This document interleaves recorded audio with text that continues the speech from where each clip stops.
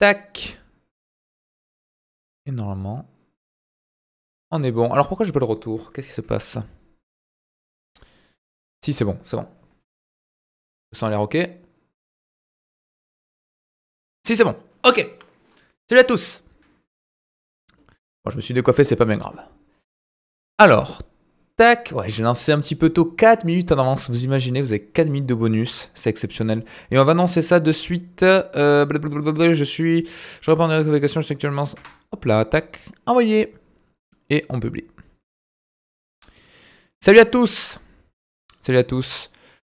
Euh, comment allez-vous? Alors, salut, il y a déjà du monde. Salut Mathis, euh, salut Spécial, salut Christian Blender, salut Laschak, salut Vincent, salut Seb, salut Sarah Gallier, le modérateur est là, salut à toi, comment vas-tu? Salut Didic, salut Eldrid, salut Claude, salut Daniel, salut Jean-Christophe, salut Enzo, salut Tom. Bon, comment allez-vous? Est-ce que vous avez passé un bon mardi? Avec ce temps, euh, ma foi, un petit peu, un petit peu pourri, hein, on peut se le dire. Il a fait chaud pendant une semaine, là, paf, que de la pluie. Salut Alex. Est-ce que ça va? Bon, les gens vont arriver petit à petit jusqu'à 21h. Vous savez comment ça se passe en principe. On a le pic vers 21h30 où on a 5 questions à la minute. Du coup, c'est assez difficile. Donc n'hésitez pas si vous avez des questions à les poser euh, dès maintenant, il n'y a pas de souci. S'il n'y a pas de questions, ou du moins entre deux questions, s'il n'y en a pas, si on doit attendre ou autre, qui est un moment un petit peu mou, je reviendrai sur ce qu'on a vu pendant la formation. Salut Gabriel. Alors attendez, tac, je vérifie. Ok, c'est bon. Ça me l'air bon. Ouais, c'est bon, c'est bon. Je dois checker à chaque fois vidéo audio parce que des fois euh, il y a des trucs qui bug un petit peu, mais là c'est bon. Euh, salut Gabriel, salut Julia, salut Jean-Christophe. Il pleut à Toulouse, ouais. Il pleut à Toulouse, figurez-vous. Alors que normalement il fait tout le temps beau ici. Hein. Il fait tout le temps beau, mais là il pleut. Salut Eldrid. Salut Pedro, Star White. Ouais, je j'avais oublié de l'être. Salut. Salut Nendien assis. Le mardi, rien n'est permis. Rien n'est permis le mardi. Sauf le Weekly Blender. Et ça, c'est quand même pas mal. Moi, j'aimerais savoir le workflow simple pour faire des plateformes à la Mario. Ok. Alors, ça, c'est une question qui revient souvent. Est-ce qu'on peut faire des jeux vidéo avec Blender? La réponse est non. Alors, je m'explique. En gros, tu parles de workflow, donc c'est très bien. C'est quoi un workflow? C'est tout simplement, on va dire, bah, workflow, euh, le flux de travail, on pourrait traduire ça comme. On, parle souvent de, pipeline aussi, de pipe. C'est. Euh, la chaîne de logiciels utilisée pour arriver à un résultat et à partir d'où on part. Quoi. Voilà. En gros, si tu veux faire un jeu vidéo, tu vas utiliser Blender en amont par exemple. Tu peux utiliser d'autres logiciels. Mais Blender, maintenant dans les versions actuelles, par défaut, il n'y a pas ce qu'on appelle un game engine, c'est-à-dire un moteur de jeu, comme l'Unreal Engine, comme Unity. Donc Blender, ça va te permettre à faire quoi? Ça va te permettre à faire la modélisation 3D. Ok? Ça va te permettre à faire les UV, Commencer à faire, pourquoi pas, des matériaux, des textures que tu vas exporter. Donc c'est pas compatible à 100% avec le logiciel. Donc si tu fais un shader dans Blender, tu vas perdre des informations quand tu vas l'exporter dans un autre logiciel la plupart du temps. Mais en gros, vous allez faire la partie 3D. Et ensuite, vous allez importer tout ça dans un moteur de jeu.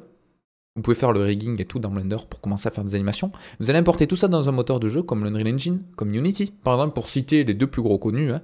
Après, il y, a, il y en a plein d'autres, mais voilà, pour citer les plus connus. Vous importez tout ça, euh, et, ensuite, vous pouvez faire tout ce qui est physique. Donc ça sert à rien de s'embêter à faire de la physique dans Blender parce que là c'est ce qu'on appelle de la simulation, ça n'a rien à voir. Il vous faut traiter tout ça dans un moteur de jeu qui va vous permettre de faire tout ceci en temps réel. Donc le moteur de jeu a l'avantage de compiler plusieurs informations, comme par exemple le moteur de rendu temps réel et le moteur physique. Moteur de rendu temps réel, c'est un petit peu, on pourrait l'apparenter à du Eevee. Voilà, c'est pas, c'est un petit peu ça. Et euh, qu'est-ce qui s'est passé? Oh, merci beaucoup, Maldrid Bienvenue dans Soutien Plus. Merci beaucoup pour le soutien, Maldrid. C'est très généreux à toi. Merci beaucoup. Merci. Merci de soutenir la chaîne. C'est très gentil. Euh, et du coup, j'en étais où? Parce que tu m'as perdu. Merci beaucoup. Euh, oui, donc l'avantage d'un moteur de jeu tel que l'Unreal Engine Unity, c'est qu'il compile à la fois le moteur de rendu qu'on peut apparenter à du Eevee parce que c'est du temps réel. Donc Eevee, c'est du semi-temps réel parce qu'il faut calculer des trucs ou autre. Mais pour simplifier, c'est ça. Et moteur physique. Donc vous allez pouvoir avoir des mouvements de personnage, euh, coder un petit peu de la physique et tout ça pour ajouter des choses du gameplay. Donc voilà, vous ne pourrez pas faire un jeu en intégralité avec Blender, mais c'est vrai que le workflow souvent utilisé, c'est euh, Blender pour la partie, on va dire, 3D. Euh, Ensuite, vous avez par exemple du, du Substance ou du Photoshop, ou vous pouvez faire ça avec Blender, mais c'est vrai que Substance est quand même plus optimisé. Pour euh, la partie shader, et euh, j'écris mal, hein, mais j'écris la souris.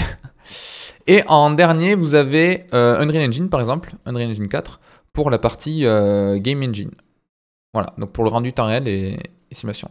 Et tout ça, bon, si vous oubliez Substance, si vous remplacez ça par Quixel, moi je préfère Substance, c'est pour ça que je vous ai parlé de ça, parce que je suis plus habitué d'utiliser, au boulot on utilise ça.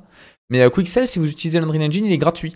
Donc avec Blender, Quixel et Unreal Engine, vous pouvez faire un truc sans dépenser un centime. Vous pouvez faire un jeu en intégralité sans dépenser un centime. Blender est totalement gratuit, si vous vendez quelque chose, vous devez rien à Blender. Quixel marche avec un Unreal Engine. Alors Unreal Engine, c'est un petit peu particulier parce que il est effectivement 100% gratuit, mais quand vous commencez à commercialiser, Epic Games, donc les développeurs d'Unreal Engine, prennent une petite commission. Je ne sais pas exactement comment ça marche, je vous avouerai, il faudrait qu'on se renseigne à ce niveau-là. Mais, euh, mais voilà, il est gratuit à l'utilisation, mais quand vous commercialisez quelque chose, il y a une petite commission qui, revient à Unreal Engine. D'un côté, c'est normal parce que c'est eux qui vous fournissent le. C'est pas du open source, hein, contrairement à Blender. Ils vous fournissent un soft, donc il y a une petite contrepartie. C'est pas énorme, hein. c'est pas 80% euh, pour eux et 20% pour, euh, pour vous, ça doit être à peu près l'inverse. J'ai peur de dire de bêtises, donc je vais pas m'avancer sur ça, mais voilà, c'est à peu près ça. C'est à peu près ça. Salut Matt, salut deux salut Alex C'est possible de faire un cube à la Mario en 10-15 minutes. Mais en gros, pour faire un cube à la Mario, t'as juste à faire les textures. Hein. Tu prends le cube de base, t'embêtes pas, hein. tu prends le cube de base, tu prends juste les textures et tu les mets par-dessus et puis c'est bon. Hein. Vous embêtez pas pour faire un cube, euh, on va pas commencer à sculpter et tout. Hein. Juste euh, café, moi je dis. Un café là, à 21h Oh, c'est de Mars. Le workflow d'assets. Ouais, alors après, si c'est pour du gaming, c'est vrai que euh, le côté optimisation est important. Donc qu'est-ce qu'on attend Qu'est-ce qu'on appelle optimisation? C'est qu'il faut modéliser en low poly. Tout dépend après sur quelle plateforme vous voulez travailler également. Si c'est un jeu pour mobile, effectivement, il faut beaucoup optimiser. Si c'est un jeu qui peut tourner sur PC, bon, effectivement, il faut optimiser également, mais on a moins de contraintes techniques, on va dire. Parce qu'on est sûr que la plupart des choses sont compatibles en fonction des consoles sur lesquelles vous l'exportez. C'est ça l'avantage d'Unreal Engine, c'est qu'à partir d'Unreal Engine, vous pouvez exporter pour la Play, pour la Xbox, il me semble, peut-être qu'il faut télécharger les SDK, mais bon, c'est possible quoi, euh, pour téléphone et tout. Après, si vous êtes plus porté téléphone, regardez Unity, je parle d'Unreal Engine parce que je connais, je connais mieux comparé à Unity, mais Unity est plus optimisé pour quand même pour tout ce qui est 2D, 3D ISO ou de la 3D, on va dire, j'allais dire entre guillemets pauvre, mais c'est pas de la 3D pauvre, c'est de la 3D pas poussée en termes de graphisme, contrairement à ce que peut faire Unreal Engine, même si petit à petit Unity commence un petit peu à, grappiller. Mais, mais voilà. Et euh, du coup, pour le workflow asset, ben, la modélisation, des fois en high poly, que tu peux sculpter. Euh, ensuite, tu fais de la rotopologie donc la version low poly. Tu peux baker les normal mapping pour les réimporter sur ton low poly pour retrouver les détails. Je sais pas si tu me suis. Mais sinon, euh, sinon après, pour faire une cube de Mario, tu, tu as juste. Soit tu dessines ta propre texture, soit tu prends la texture, tu l'appliques sur le cube et puis voilà.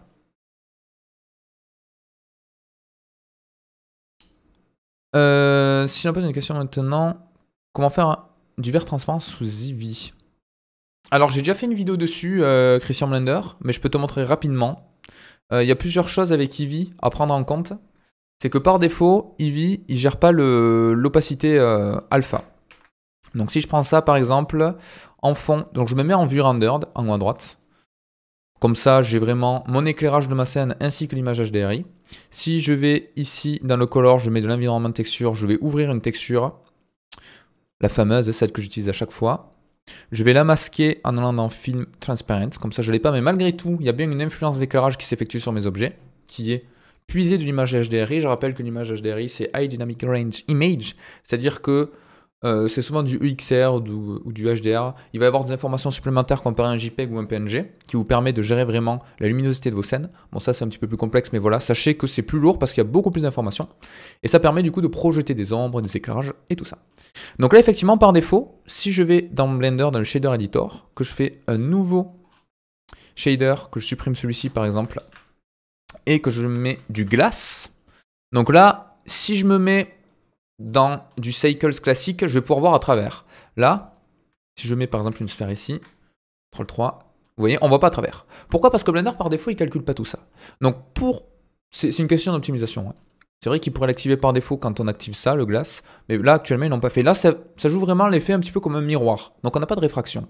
Donc pour calculer tout ça, et j'insiste sur le fait que tout ce qui est réfraction et réflexion lumineuse sera beaucoup plus précis avec du Cycles, qui est basé sur des vrais calculs physiques de rayons de lumière, alors que essaie de faire des approximations en temps réel, qui demandent plus de ressources, et qui de coup, vu que c'est du temps réel, ben, c'est un petit peu limité en termes de rendu, en termes de qualité du moins.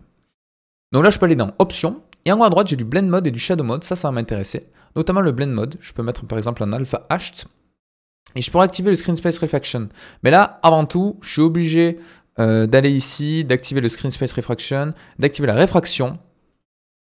Et du coup, là, vous voyez, je peux obtenir des réfractions. Soit avec du hashed, soit avec du clip. Donc ça, ça va dépendre un petit peu de l'alpha. Hein. Et ici, en cochant ceci, je vais pouvoir avoir une réfraction. Vous voyez, le screen space reflection. Alors pourquoi c'est important de cocher là? Parce qu'effectivement, on l'a activé ici dans Blender, dans le Eevee, le screen space reflections par défaut, on doit activer la réfraction, parce que par défaut c'est que les reflets de réflexion. Alors quelle est la différence? Euh, Quand vous avez une, une surface comme ceci, avec une certaine épaisseur par exemple, ça c'est la réflexion, avec un certain angle. Donc il y a de l'IOR qui va rentrer en jeu, notamment pour la réfraction. La réfraction, c'est les rayons lumineux qui vont passer à travers une surface. La réflexion, c'est les rayons lumineux qui vont rebondir sur une surface. Et là, il y a une histoire euh, d'indice de réfraction de l'IOR. Donc là, vous voyez que euh, par défaut, si je fais tous ces paramétrages, ça ne marche pas. Je suis obligé d'activer en haut à droite le Screen Space Refractions, qui est en corrélation avec celui-ci. Et quand j'active ça, vous voyez que par exemple, la sphère qui est présente derrière, on va l'avoir par transparence. Donc là, elle est blanche, donc on s'en aperçoit pas trop. Mais si je la mets par exemple rouge, vous voyez qu'on la voit bien. Donc voilà comment on peut obtenir du vert avec Eevee.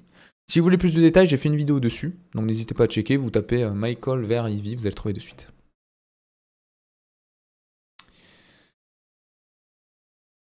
Est-ce que tu as une méthode pour faire un effet de poussière? Est-ce que les particules euh, Système suffit. Euh, ça dépend ce que tu appelles poussière. Il y a deux choses. là, il y a deux choses intéressantes dans ta question. Je vais vous en montrer deux. Vous avez déjà les poussières qu'on appelle volumétriques, c'est-à-dire c'est quoi? C'est tout simplement un volume, comme le nom l'indique, où il va y avoir une absorption de la lumière. Par exemple, si je fais un shader editor qui permet comme d'habitude de créer un matériau, j'ai mon cube, imaginons que je vais dire qu'à cet endroit-là je vais de la poussière. Donc là je vais répondre à ta question sur deux axes. D'abord la poussière en termes d'environnement et ensuite la poussière sur un objet. Donc là, si je veux de la poussière pour par exemple faire du brouillard ou autre, je vais supprimer le principal BSDF qui par défaut me crée une surface, quelque chose de palpable, c'est pas ce que je veux. Je veux quelque chose qu'on appelle volume en 3D, qui est tout simplement comme un brouillard ou quelque chose qui n'est pas euh, tangible. Donc je sais pas si ça se dit, bon bref, vous m'avez compris. Shift A, pardon, shader, euh, principal volume, tac, et je vais relier mon volume à mon volume. Et là, effectivement, je vais avoir une sorte de brouillard qui forcément au début est pas très visible, c'est normal, euh, parce qu'on va devoir lui rajouter une lumière à l'intérieur. Donc si je prends cette lumière là et que je la mets au milieu, vous voyez, on a bien une sorte d'émission qui se fait, mais là où ça devient intéressant, c'est si cette lumière, je la transforme en spot, comme ceci. Vous voyez, on peut vraiment avoir une sorte de puits de lumière. Donc là, c'est peut-être un petit peu important en termes de... Tac, je vais faire comme ceci, je vais augmenter un petit peu la densité à 5. Comme ça, ça va vraiment absorber la lumière. Et là, je vais rajouter un 0, comme ceci. Vous voyez, on peut avoir une sorte de puits de lumière. Bon, faut trouver les bonnes valeurs, je le fais très rapidement. Hein. Mais ça, c'est une première euh, méthode pour avoir de, euh, pour avoir de la poussière. Ok? Euh, Donc je pourrais...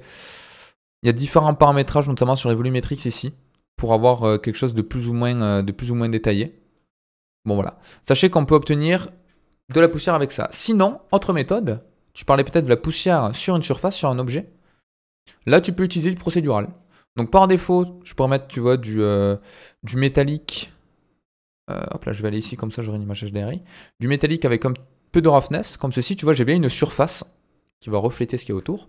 Et je vais jouer sur la valeur de roughness. Donc la roughness, c'est la rugosité allant de 0 à 1, pourcentage, 0 à 100%. À 0, ça va tout refléter, à 100%, ça va tout absorber. Du moins, ça va étaler notre reflet dû au métallique. Donc là, rajouter une texture, par exemple, de type Musgrave, voilà. Pour la mettre sur le base color pour vraiment voir comment ça se comporte, changer un petit peu l'échelle, rajouter des détails, baisser la dimension par exemple comme ceci. Imaginons que ça ce soit ta poussière, mais si je relisais ça à ma roughness, tu vois que de suite j'ai un effet de poussière déposé sur ma surface qui est assez sympa. Et l'avantage c'est que tout ça c'est procédural. Hein. Donc tout ça je peux le changer en temps réel et les reflets vont s'adapter. Donc voilà, les deux manières pour faire de la poussière. Et là, une fois que tu as ton matériau, ce qui est pratique, c'est que je peux le mettre sur ce que je veux. Donc par exemple, ma tête de monkey, là, je peux très bien lui dire, hop là, tu me mets la poussière dessus, et tu vois que ça donne un effet vraiment sympa. Donc voilà, j'espère que c'était ta question. En fait, je voulais te faire un nom, comment ça se passe? Eh ben, je pense que tu as trouvé, euh, Il y a le PayPal ou alors le, le, le, follow, euh, le soutien de, de, la chaîne. En tout cas, merci beaucoup. Salut Pat, salut Chinkin, salut Philippe Cordova, salut Fifi, ça va? Hello à tous, c'est le Michael, ici Juju. Ben salut Juju81. Et spécial. Salut Willy. Merci Wildred, c'est très gentil. Salut Laurent. Jenny Marteau. Euh, qu'est-ce que tu nous dis, Julia? Unreal prend 5% à partir d'une certaine somme. Ah ok, je savais, savais plus la valeur. Vous voyez, 5% c'est pas, pas énorme. Enfin, du moins pour le logiciel qui vous fournit, c'est pas non plus euh, beaucoup. Je sais qu'il y a des logiciels qui prennent beaucoup plus. Après voilà, c'est deux manières de voir les choses. Soit on paye un logiciel cher et après on n'a rien à distribuer au logiciel, soit on l'utilise gratuitement et en contrepartie il faut verser un petit peu euh, un petit cachet on va dire sur le pourcentage qu'on se fait. Salut Denis. Substance, c'est plutôt texture et pas shader, non? C'est lui qui gère les shaders. Oui, alors... Euh, quand je dis shader, c'est parce qu'en fait, Substance va te permettre... Alors, faut bien différencier. Il y a Substance Painter qui permet de peindre sur les objets, donc ça, je le mets plus à part. Il y a Substance Designer qui permet de générer des textures procédurales qui, en fait, font un shader. Qu'est-ce qu'on appelle shader? C'est la, la compilation, par exemple, si on est sur du PBR, de diffuse, du normal, de la roughness, du spécular, du métallique, par exemple, de tout ça. Donc je parle de shader parce qu'il va nous exporter tout ceci, il va nous afficher le shader en temps réel. Mais après, oui, le shader est compilé par Unreal, ou du moins par le logiciel dans lequel, dans le moteur de rendu, pour être plus précis, dans lequel vous allez importer ces textures.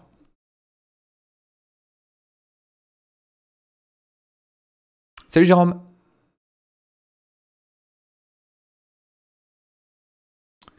Salut Thomas. Ah ben, les modérateurs sont, euh, sont de sortie. Une question Michael, pour les textures, c'est quoi la méthode la plus facile? Comment ça? C'est quoi la méthode la plus facile? Ça veut dire quoi ta question? J'ai une question, Michael, pour les textures. C'est quoi la méthode la plus facile? Euh, La méthode la plus facile pourquoi? Pour créer une texture, pour la télécharger, pour l'appliquer sur un objet, pour en générer procéduralement? Je sais pas. Euh, sois un petit peu précis si tu veux. Sinon, je peux répondre, mais ça va être un peu large et je pense que je vais pas répondre à ta question du coup. Une passe café déjà? Ah non, moi je bois pas de café. Je suis hyper actif, hein, donc si je bois du café, je cours partout. Hein. Vous me voyez plus. Hein. Vous me voyez passer très vite. C'est vraiment les textures qui me posent problème. Euh, alors c'est toi qui posais la question sur... Euh, ah, les textures. Ben, les textures... Euh, déjà, il faut commencer par les UV. Donc, je te conseille les vidéos que j'ai fait sur les UV. Une fois que tu as bien compris les UV, les UV, je rappelle que c'est le dépliage d'une texture pour passer de la 3D à la 2D. On est obligé de, on est obligé de déplier nos objets hein, pour le rendre flat, entre guillemets, pour le rendre à plat, sur lesquels on va pouvoir appliquer une texture et faire l'opération inverse, entre guillemets, pour le réappliquer sur un espace 3D. Donc ça, c'est assez compliqué. Une fois que tu as compris ça, mais si tu suis normalement ma, formation, je fais petit à petit. D'abord, on va les UV, ensuite, on va les textures de base, ensuite, on va le procédural. une fois que tu as compris ça, normalement, il ne devrait pas y avoir de soucis. Comment tu fais une animation? Question vague à ça. Je peux vous expliquer le principe de base, si vous voulez. Le principe de base. Donc, une animation, comment ça marche? Je vais prendre un cube, par exemple.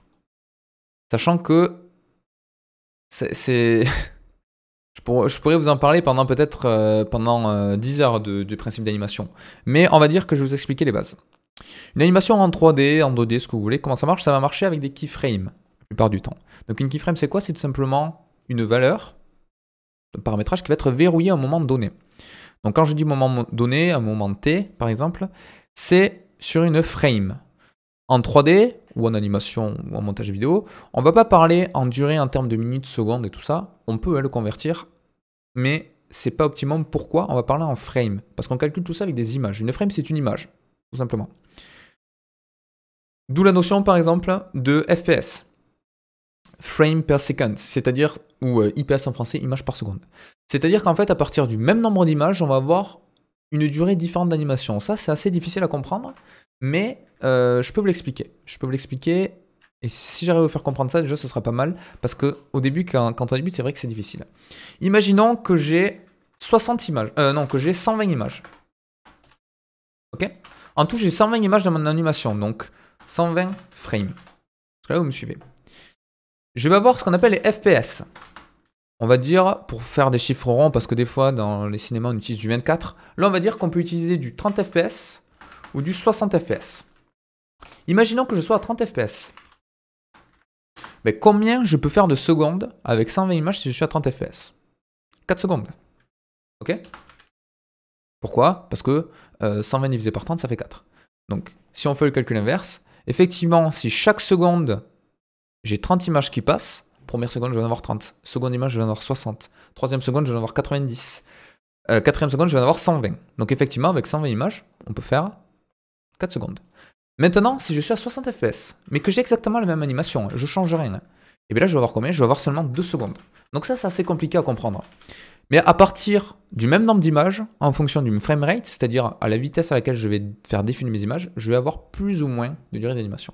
Je prends souvent l'exemple, vous savez, des flipbooks vous avez certainement fait euh, quand vous étiez petit, quand on a plein de petites feuilles qu'on dessine euh, image par image et qu'avec notre pouce on les fait défiler comme ceci. Mais en fonction de la vitesse à laquelle on va faire défiler, ben, notre flipbook, on va le passer plus ou moins vite. Mais là c'est exactement pareil.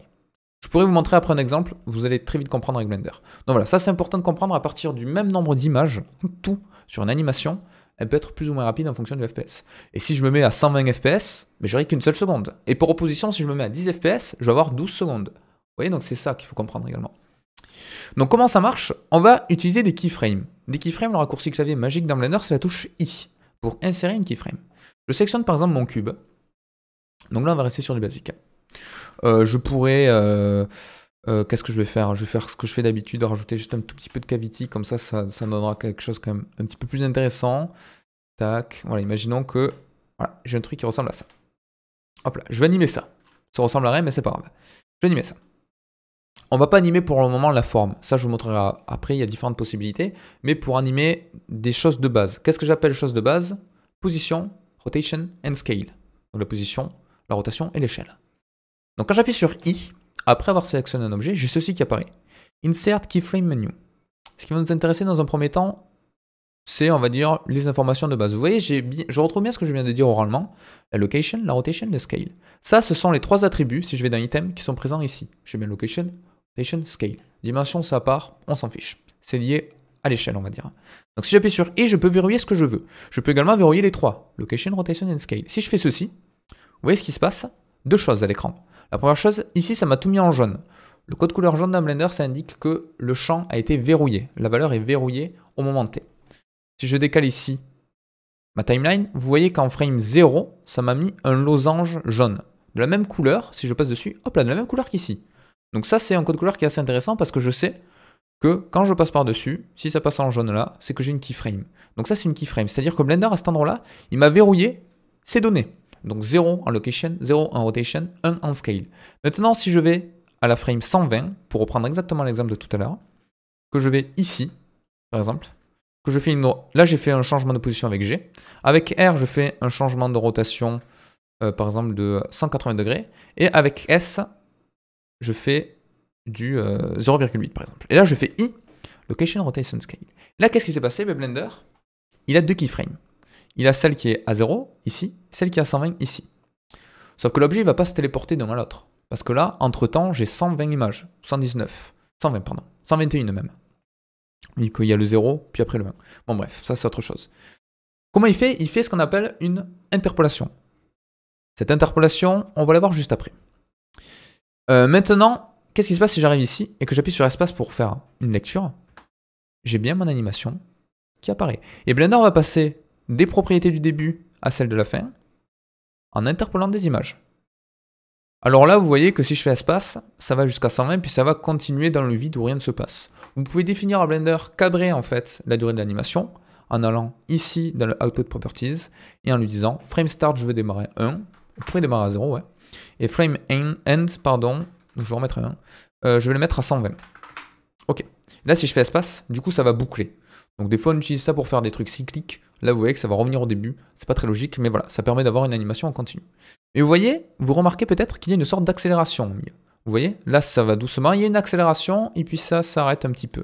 Comment ça se fait? Eh C'est parce que Blender, par défaut, quand il va vouloir interpoler deux valeurs, donc par exemple passer de cette valeur-là à celle-ci, plutôt que faire un truc de linéaire, bah, il va faire, il va sur une courbe de Bézier. Donc il va faire quelque chose qui ressemble à ça. Voilà. Ce qui donne cet effet ralenti au début avec un très faible coefficient directeur. Donc là, c'est plat. Normalement, c'est pas tout à fait comme ça. C'est plus une courbe en S euh, qui va ressembler à ça. On va la voir juste après. Coefficient directeur, donc euh, inertie, vitesse en gros, vélocité de votre objet très faible, très rapide au milieu, puis à nouveau adouci. Donc ça, ça peut être intéressant dans certains cas. La plupart du temps, dans les logiciels de 3D, c'est la valeur par défaut. Et on peut le retrouver dans le Curve Editor. Donc ça, je peux l'ouvrir ici. Graph Editor, pardon. C'est la même chose. Graph Editor, ça ressemble à ça. Et là, vous avez quoi? Vous avez tout simplement, donc là, ça peut facilement euh, donner mal à la tête. Euh, comment on fait déjà pour se recadrer? View. Hmm, ah, je sais plus comment on fait pour se recadrer. Bon, c'est pas très grave. Euh, c'est pas très grave, je vais peut-être le mettre en plein écran. C'est peut-être celui-là, je sais plus. Bon bref, il y a un raccourci clavier, euh, mais sinon avec CTRL, vous voyez, je peux facilement. Mais il y a un raccourci clavier qui le fait tout seul. Vous voyez, là j'ai toutes mes valeurs. Si je vais dans Object Transform, je vais avoir mon X location, Y location, tout ceci. Et tout ceci, je peux les rééditer manuellement. Et ça va du coup me changer mon animation. Et ce qui est également important, c'est qu'avec V, je peux par exemple, avec T, pardon, je peux lui dire si je veux une interpolation par défaut de Bézier, donc la courbe que je vous montrais tout à l'heure, elle est ici, ou par exemple linéaire. Et si je fais linéaire, vous voyez que du coup, je n'ai plus d'accélération. C'est quelque chose de constant. Donc ça, on le voit beaucoup si j'ai une animation, par exemple, qui est uniquement une rotation. Donc je verrai quelque chose en continu. Je peux également, si j'ai envie, faire une animation en bounce. Auquel cas, ça va me faire une sorte, vous voyez, de rebond. Donc ça va faire tac, ça va revenir en arrière, tac, ça va refaire comme ceci, et tac, ça va aller jusqu'à l'image de fin. Donc tout ça avec de l'interpolation. Et on pourrait revenir, je vais faire CTRL Z pour obtenir quelque chose de linéaire. Sur la valeur qu'on avait tout à l'heure, là, 120 frames, elles vont me passer si on a 30 fps. Donc là, je suis à 24 par défaut, il me semble. Mais si on a 30 fps, elles vont passer en 4 secondes. Donc je me mets, hop là, ici à 30 fps. Je mets au début. 1, 2, 3, 4 secondes. Ok, vous voyez? Et là, si je mets à 60 fps, vous allez voir que ça va aller beaucoup plus vite. À la fois dans la vue 3D et à la fois le défilement en bas. Là, ça va durer 2 secondes. 1, 2 secondes. Vous voyez? Et du coup, c'est beaucoup plus fluide. Donc après, ça dépend ce que vous voulez faire. Souvent, quand on fait du, euh, motion design, ben on va euh, du motion traffic, motion design. On va. Oh, merci beaucoup, euh, merci beaucoup pour la donation, Weldrid. J'ai failli louper. Merci beaucoup, c'est très généreux. Merci à toi. Merci. c'est vrai que tu m'as perdu. Quand on fait du motion design, du motion graphique, on va souvent utiliser du 60 fps. Si c'est pour le cinéma, on va plutôt se calquer sur du 24. Tout dépend ce que vous voulez faire en fait. Je sais que je vais un peu vite, mais il y a plein de questions, donc si je vais pas vite, on va avoir une heure et demie de retard sur le, le truc. Donc ça, c'est pour la partie facile. Hein. Ça, c'est la partie facile d'animation. Sachez également que dans Blender, tous les paramétrages que vous voyez ici sont animables. C'est-à-dire que si je fais par exemple CTRL 3, ceci, cet exemple j'ai déjà montré, mais j'aime bien le montrer parce qu'il est assez explicite. Si je rajoute un modifier de type... Euh, non, je vais changer. Je vais pas faire comme ça. Je vais faire par exemple... Euh, vous, allez voir ce que je vais faire. Je vais faire ceci, tac, tac, tac. Je vais faire un petit... Euh, ceci, scale. Je vais prendre cet objet, je vais mettre un modifier de type euh, simple deform. Je vais mettre ça. Du bend. Voilà. Sheet smooth, edge split. Donc vous embêtez pas si vous comprenez pas tout ça, c'est pas très grave, c'est juste pour vous montrer un exemple. Là vous voyez j'ai une valeur, angle, qui est sympa, qui me permet de faire un truc comme ça, mais qui par défaut peut être très bien hein, pour faire des, euh, des, petites modélisations, mais ça si je pouvais l'animer, ce serait vraiment super, si je pouvais l'animer, on est d'accord. Mais c'est possible, toujours avec le même raccourci. Donc si je mets moins 180, j'appuie sur I, je décale un petit peu, non, pas ça que je voulais faire, Blender, oui, tu peux t'afficher ici, c'est pas grave. Euh, j'appuie sur I. J'ai pas coupé mon live Non, c'est bon, ça fonctionne. J'ai appuyé partout sur mon clavier en voulant faire ceci. Tac J'appuie sur I, vous voyez, ça me verrouille la valeur et ça a bien mis une keyframe. Je vais par exemple à la frame 40. Je me mets à 180. Je rappuie sur I. Je vais la frame 80. Je vais à moins 180. Et là, je rappuie sur I. Et là, vous allez voir l'utilité de ce qu'on a fait tout à l'heure de brider Blender dans le calcul. Je mets 80. Et là, si je passe par exemple à 30 fps et que je fais espace, regarde ce qui se passe. J'ai bien une animation qui du coup il continue parce qu'elle va boucler hein, avec mon bend. Pourquoi? Parce que là, j'ai carrément animé une valeur d'un modifier. Et vous voyez? Vous voyez comment un, un certain pôle? Un center pole, pardon. Donc, normalement, là, il y a des petits soucis de, rafraîchissement. Hein. Mais euh, vous voyez, si je passe la souris comme ça euh, très rapidement, en fait, lui, il va calculer, ça s'affiche pas en temps réel parce que ce serait pas optimisé, lui, il va calculer euh, à chaque frame la nouvelle valeur en interpolant, en interpolant ceci. Et là, du coup, pareil, là, ça devient encore plus intéressant si je vais dans le graph editor, de tout sélectionner, et avec T, si je passe en linéaire, là, vous allez très vite voir la différence. Du coup, c'est moins réaliste. Alors que tout à l'heure, en Bézier, voyez, ça fait bien un amortissement au début, donc ça, ça peut être sympa. Euh, j'ai du élastique également, qui ferait euh, un autre truc qui n'a rien à voir. Euh, c'est vraiment, vous voyez, ça, ça peut être sympa également. Ça, pour faire du motion design, c'est vraiment cool. Hein. Quand vous allez vraiment comprendre les keyframes et tout, ça, ça peut être vraiment sympa. Et là, il n'y a pas de calcul de physique, il n'y a rien du tout. C'est juste l'interpolation qui fait ça. Pourquoi? Parce que Blender, il va générer cette courbe-là. Et cette courbe-là, effectivement, si vous interprétez chacune des keyframes, ça fait bien ce que vous avez à l'écran. Du coup, ça peut être vraiment cool. Donc voilà. Voilà pour les animations faciles. Maintenant, si vous voulez aller un petit peu plus loin, il y a tout un principe de, rigging, de keyframe et tout qui est assez compliqué, je vous avoue, à expliquer du moins très rapidement. Euh, sachez tout simplement qu'on peut utiliser ce qu'on appelle des armatures, donc des bonnes, qui peuvent être de différents types. Euh, quand je dis différents types, c'est différentes interprétations, notamment avec les IKFK.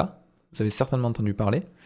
Euh, par défaut, vous voyez, quand j'ai un bon, je peux passer en pause mode. Il va y avoir une sorte de hiérarchie avec des rotations. Tout ce qui est en dessous va suivre et inversement, et pas ce qui est au-dessus.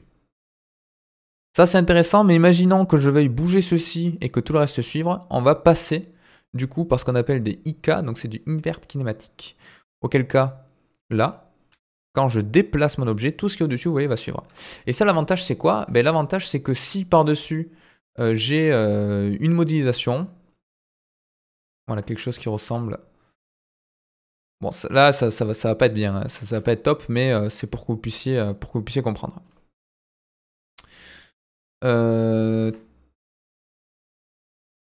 Ouais, ça va, ça va vraiment pas être bien. Je vais pas le faire comme ça. Je vais pas le faire comme ça. Je vais faire l'opération inverse. Hop là. Si j'ai ceci par exemple, Tac. Si à l'intérieur de ça, je mets des armatures, et là vous allez comprendre qu'en fait des animations c'est très complexe. Si à l'intérieur de ça j'ai des armatures, voilà, augmenter un petit peu la taille.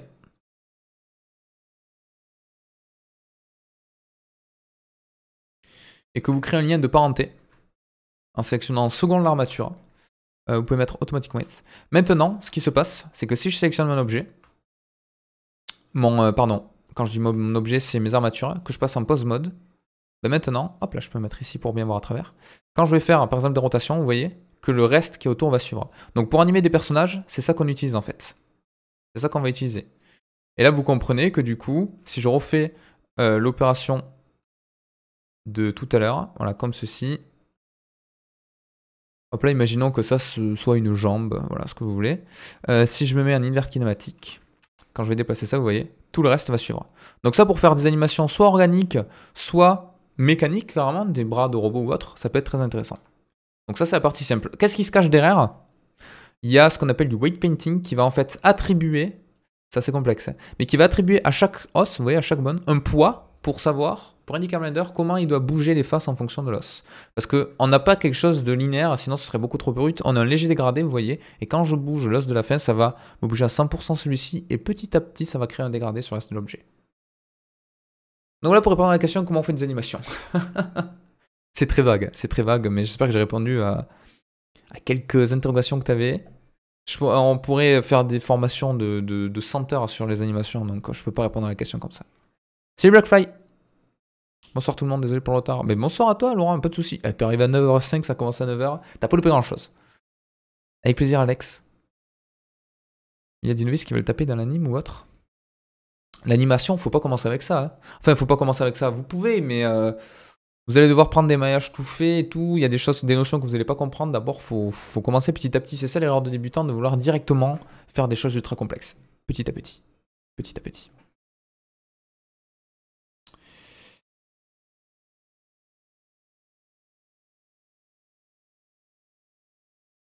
Non mais Weldrid, mais merci beaucoup, c'est très gentil. C'est trop cool, j'aime ta formation. Mais merci beaucoup, c'est très généreux. merci, merci. Merci à toi. Euh, alors. Merci beaucoup.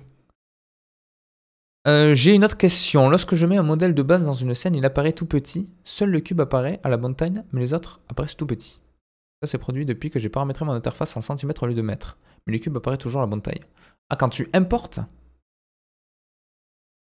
Ah oui, mais c'est peut-être normal. Alors attends.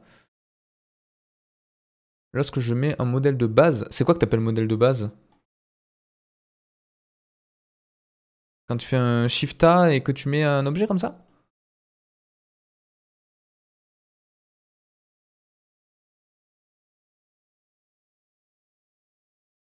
Enfin, je, je, vois, je vois pas. Je... C'est quoi que tu appelles modèle de base? Tu importes quelque chose qui vient de l'extérieur?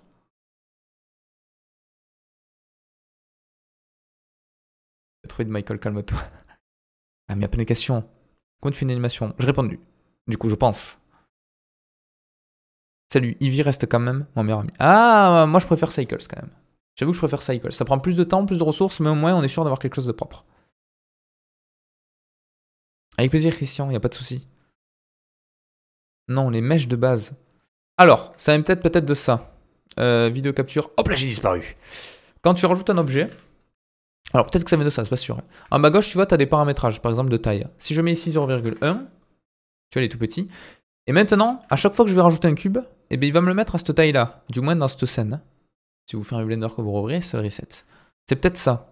Parce que normalement, euh, le fait le fait de changer je vais me rafficher.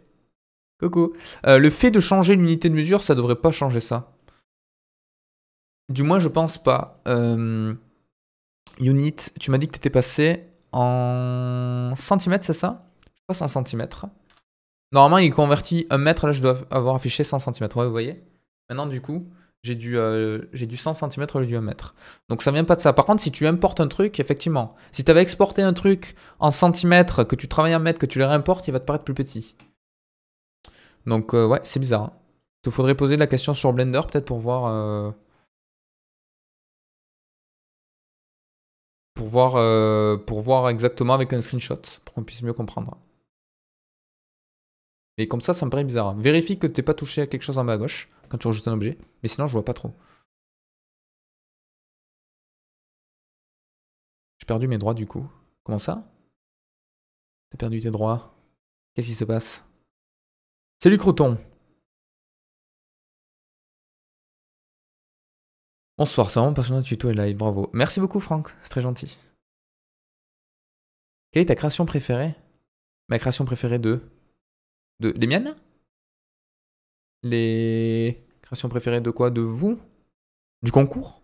Parce que d'ailleurs, le concours, euh, on se réunit avec le jury ce week-end et du coup, je pense que la semaine prochaine, vous aurez la vidéo. Enfin, quand je dis la semaine prochaine, pas ce week-end, mais l'autre.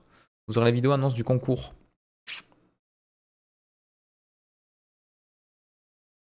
Donc voilà. Euh, ma création préférée, euh, ben, celle qui. Je, je, je vois pas trop ta question, c'est. Je, je comprends pas. Ma création préférée d'une manière générale de ce qui se fait sur internet Comment peut-on faire un effet ruche d'abeille? Ah, euh, c'est quoi des ruches d'abeilles? C'est des. des. Hmm, des Combien de côtés? 6 Là, tu vois, quand tu rajoutes un cercle, tu te demandes vertices. 5, 6, 8. Octo... C'est des octogones? Non, ça me paraît... Non. 7 peut-être? Non, pas 7. 6. Ah, voilà, 6, c'est ça, c'est ça. Ben voilà, avec ça.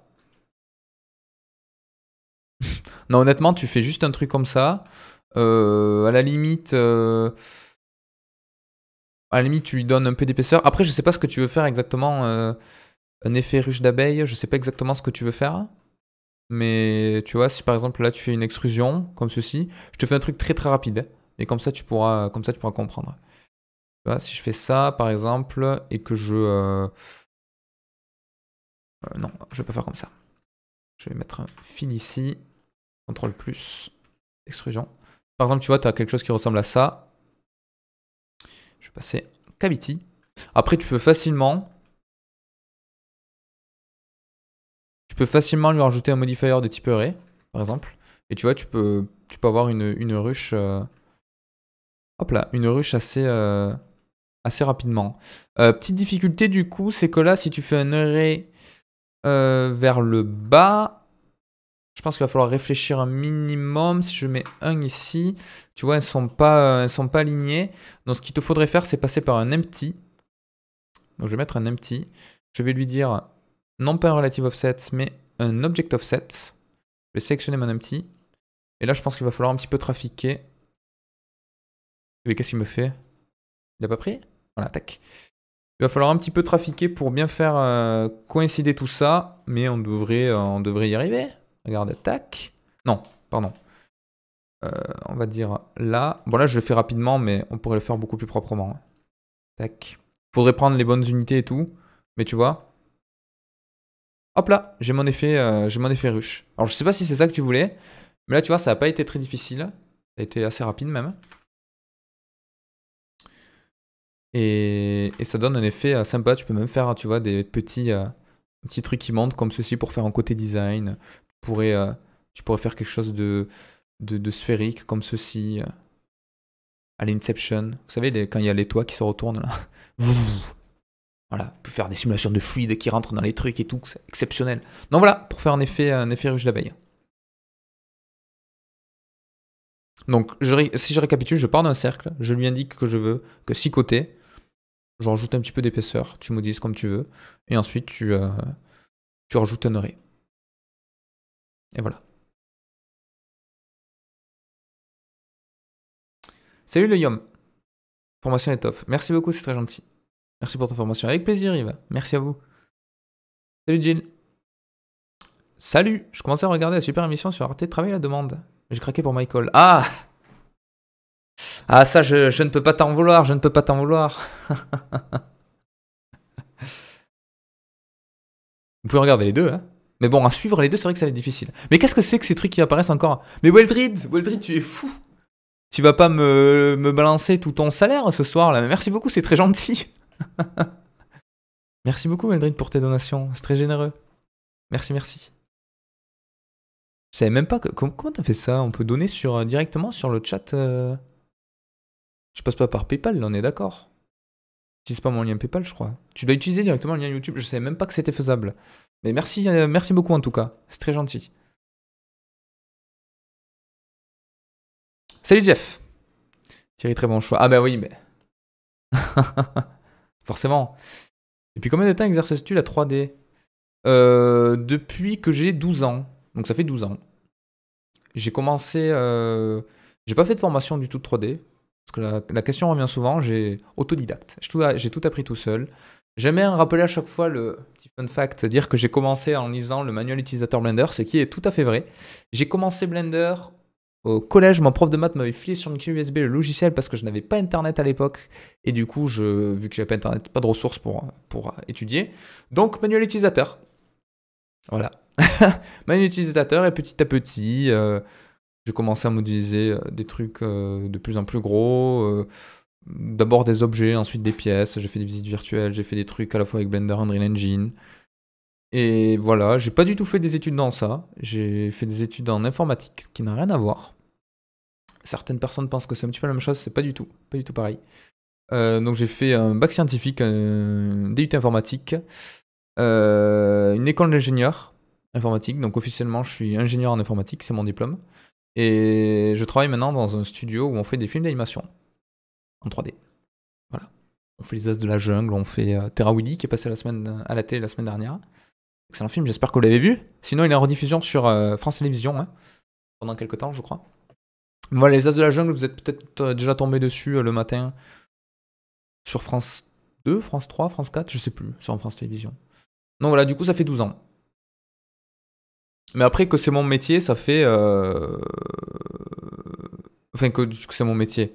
J'ai toujours fait plus ou moins des formations sur Internet, sur YouTube et tout, mais que je travaille dans un studio où je fais de la 3D, parce qu'avant je travaillais dans des entreprises où je faisais de l'informatique, c'était euh, début de l'année. Donc c'est assez frais, hein C'est assez frais.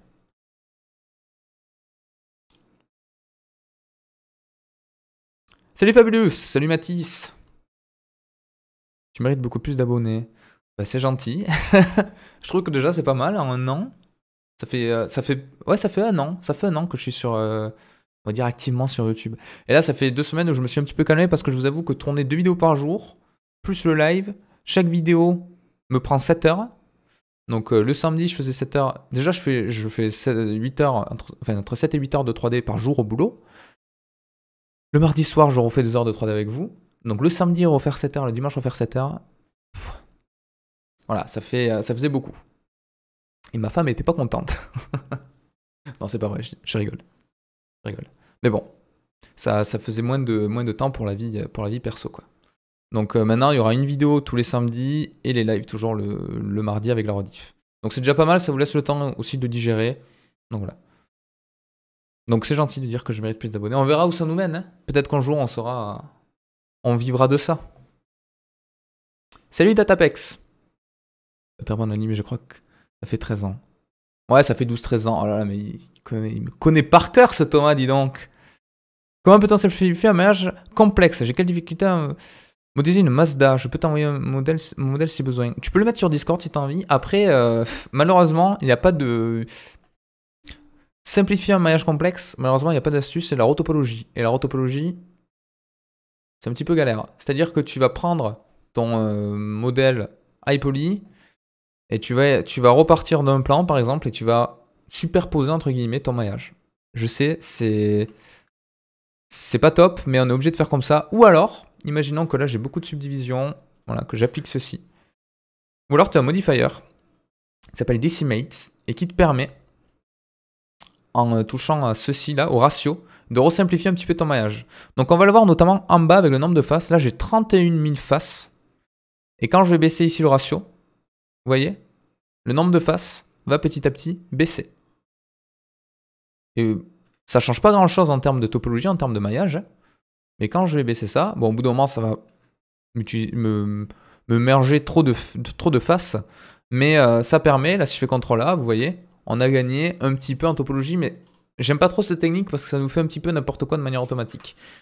Donc euh, malheureusement, on doit refaire la même, la rotopo. Mais après, euh, la bonne solution, ce serait de modéliser directement de manière optimisée. Donc si déjà tu as un maillage très complexe que tu dois simplifier, c'est que potentiellement tu as fait une erreur dès le début quand tu as modélisé. Sinon, tu es obligé de passer par une phase de rotopologie. Grâce à toi, j'ai découvert la 3D maintenant, c'est une vraie passion, merci. Bah, avec plaisir, Datapex. Ça, ça fait plaisir. Il y, en a, il y en a de plus en plus qui m'envoient des messages. Ouais, grâce à toi, j'ai été pris dans mon école de 3D. Grâce à toi, j'ai trouvé un boulot dans la 3D. Trop bien. Trop bien. D'ailleurs, faites pas de soucis, ceux qui n'ont pas fait, comme j'ai dit, j'ai pas fait d'études de 3D parce que ça coûte très très cher.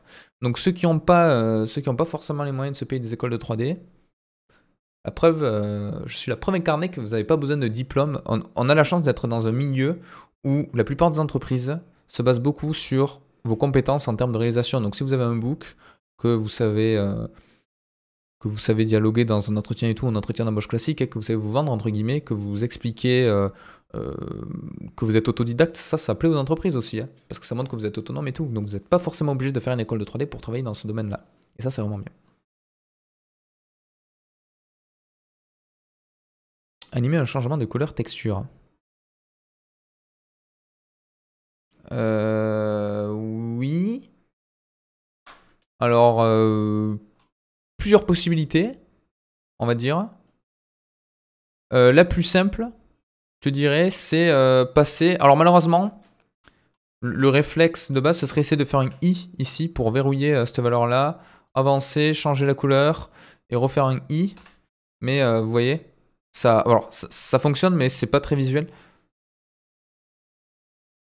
Euh, alors attendez. Normalement, ça devrait quand même afficher la keyframe. Voilà, faut sélectionner. Ça fonctionne, mais euh, on n'a pas trop la main sur, euh, sur les choses. Je peux tout simplement appuyer sur I, hein, sur ces valeurs-là, et ça me permet de le verrouiller. D'ailleurs, je pense que ça, à l'époque, c'était pas possible. Mais ça me semble qu'à une époque, c'était pas possible. Et maintenant, vous voyez, je peux faire I, je peux le faire. Je peux faire pareil pour le métallique, par exemple. Ou la roughness. Je peux très bien dire à Blender, mais tu passes d'une roughness de 100% à une roughness de 0% ici. Auquel cas, si j'ai lancé mon animation, je vais avoir à la fois un changement de couleur et un changement de matériau. Sinon, moi, ce que je vous conseille pour avoir un petit peu plus de souplesse, c'est de passer par un euh, mix RGB, par exemple. Voilà. Avoir du vert et du bleu, comme ça, là, je vois bien les couleurs que je veux mélanger. Parce que là, je vois pas trop. Je suis obligé de passer sur la keyframe pour me dire, ok, je passe du blanc au vert. Mais on ne voit pas trop. Alors que là, si je veux passer du vert au bleu, Donc en gros, animer cette valeur-là, j'ai juste animer le factor. Donc je peux mettre i ici. Là, hop, là je mets un 1, j'appuie sur i. Et là, je vais passer pareil d'un côté à l'autre en basculant vraiment du numéro 1 au numéro 2. Donc ça, ça peut être intéressant.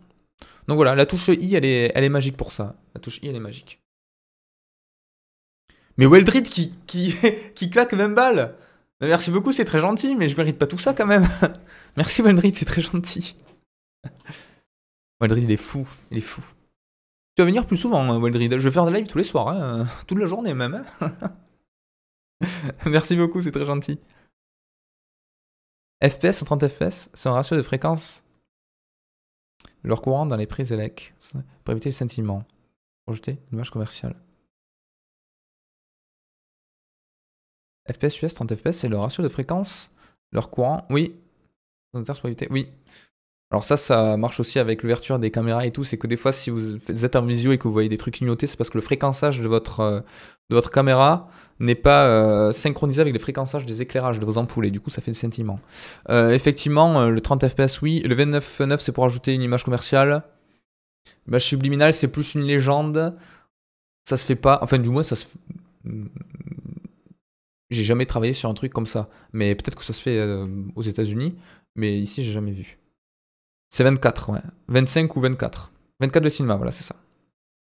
C'est aussi pour l'image comme ça, important. Et sur un d'écran. Oui. Après, euh, honnêtement, euh, je sais même pas si c'est légal de faire des images subliminales comme ça dans les films, je pense pas. En théorie, oui, on peut le faire parce que là, il va pas voir. Même sur du 60 fps, tu mets du 60 fps, tu mets deux images subliminales. Mais oui, effectivement, t'as raison, Claude. C'est vrai que on est basé sur du 24 au cinéma. Et sinon, c'est 25 euh, à cause des prises en 50 Hz. C'est tout à fait ça. Et pour les écrans aussi. Les écrans de base, par défaut, c'est du 60 Hz. Donc du coup, ça permet d'avoir un rafraîchissement synchronisé. Parce que si on est en 60 Hz sur nos écrans, ben, on est sûr qu'à chaque rafraîchissement d'écran, à chaque balayage, on a une nouvelle image. Salut Yves Mais oui, il n'arrête pas ah, ce soir, ça n'arrête pas. Hein euh... c'est le jour de paye. Valdry, tu vas venir sur Twitch, hein? Je t'enverrai le lien. Comme ça, il y a des animations et tout à chaque fois qu'il y a des donations. Tu verras, c'est rigolo. Euh, tu conseilles quoi pour débuter la 3D sur Blender? La formation de Michael. Je sais pas si vous connaissez. C'est euh, euh, c'est assez explicite, je trouve que c'est assez bien fait.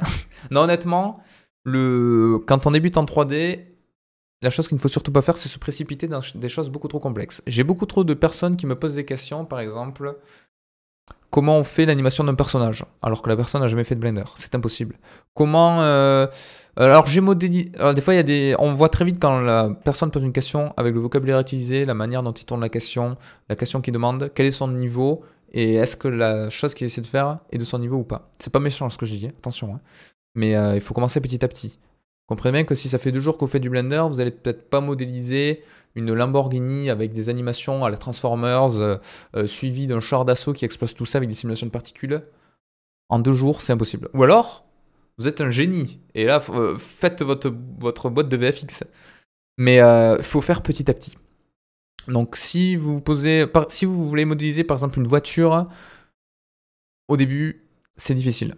Il y en a qui me posent la question, oui, je suis en train de modéliser une voiture et j'arrive pas à, euh, faire la rotation du pneu. Vous voyez que là, il y a, un truc qui, qui va pas dans le contraste. Parce que modéliser une voiture, c'est très difficile, et faire la rotation d'un pneu, c'est un truc de base. Donc ça veut dire que la personne a forcément de sauter des étapes. Donc faites petit à petit. Le programme que, que j'ai adopté dans la formation, je pense qu'il est pas mal dans le sens où on commence par les bases de la modélisation. Vraiment, quelque chose de très basique, l'interface de Blender, tout ça. Et l'avantage, c'est que ça s'applique pas qu'à Blender. Hein. Quand vous avez compris qu'est-ce qu'un maillage, de quoi il est constitué, comment on manipule un petit peu les polygones et tout, quand vous passez sur un logiciel, vous n'allez pas être perdu. Euh, ensuite, ce que je voulais dire également, c'est que oui, petit à petit, et, euh, et je pense à quoi? Je pense à autre chose parce que je regardais, euh, il y a des messages Euh, YouTube là qui me disent débit, non, c'est il dit n'importe débit du flux audio. Non, non, YouTube a bugué. Faut que je fasse attention à ça. Oui, petit à petit. Donc d'abord la modélisation, ensuite on voit les matériaux. Donc les textures, bien faire la différence entre texture et matériaux parce qu'il y a beaucoup de personnes qui confondent ça. Donc un, un matériau est constitué de texture, mais une texture n'est pas un matériau, un matériau n'est pas une texture. Ça, ça veut rien dire. Ça faut oublier, faut vraiment bien. C'est important le vocabulaire parce que quand après vous faites des recherches sur internet, comment appliquer un matériau, c'est pas la même chose que comment appliquer une texture. Vous voyez, c'est plein de petites choses comme ça. Donc ensuite les matériaux.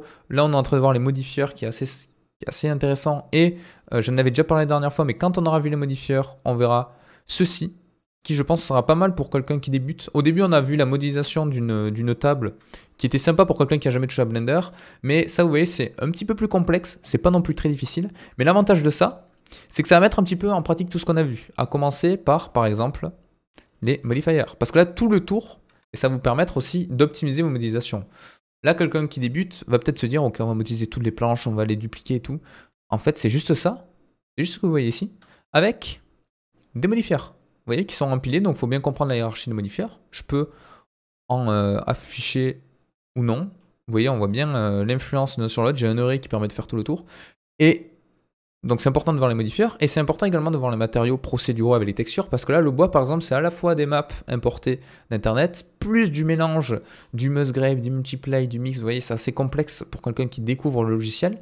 Donc on a été obligé de voir tout ce qui est texture, matériaux, tout ce qui est... Euh, euh, comment on appelle ça?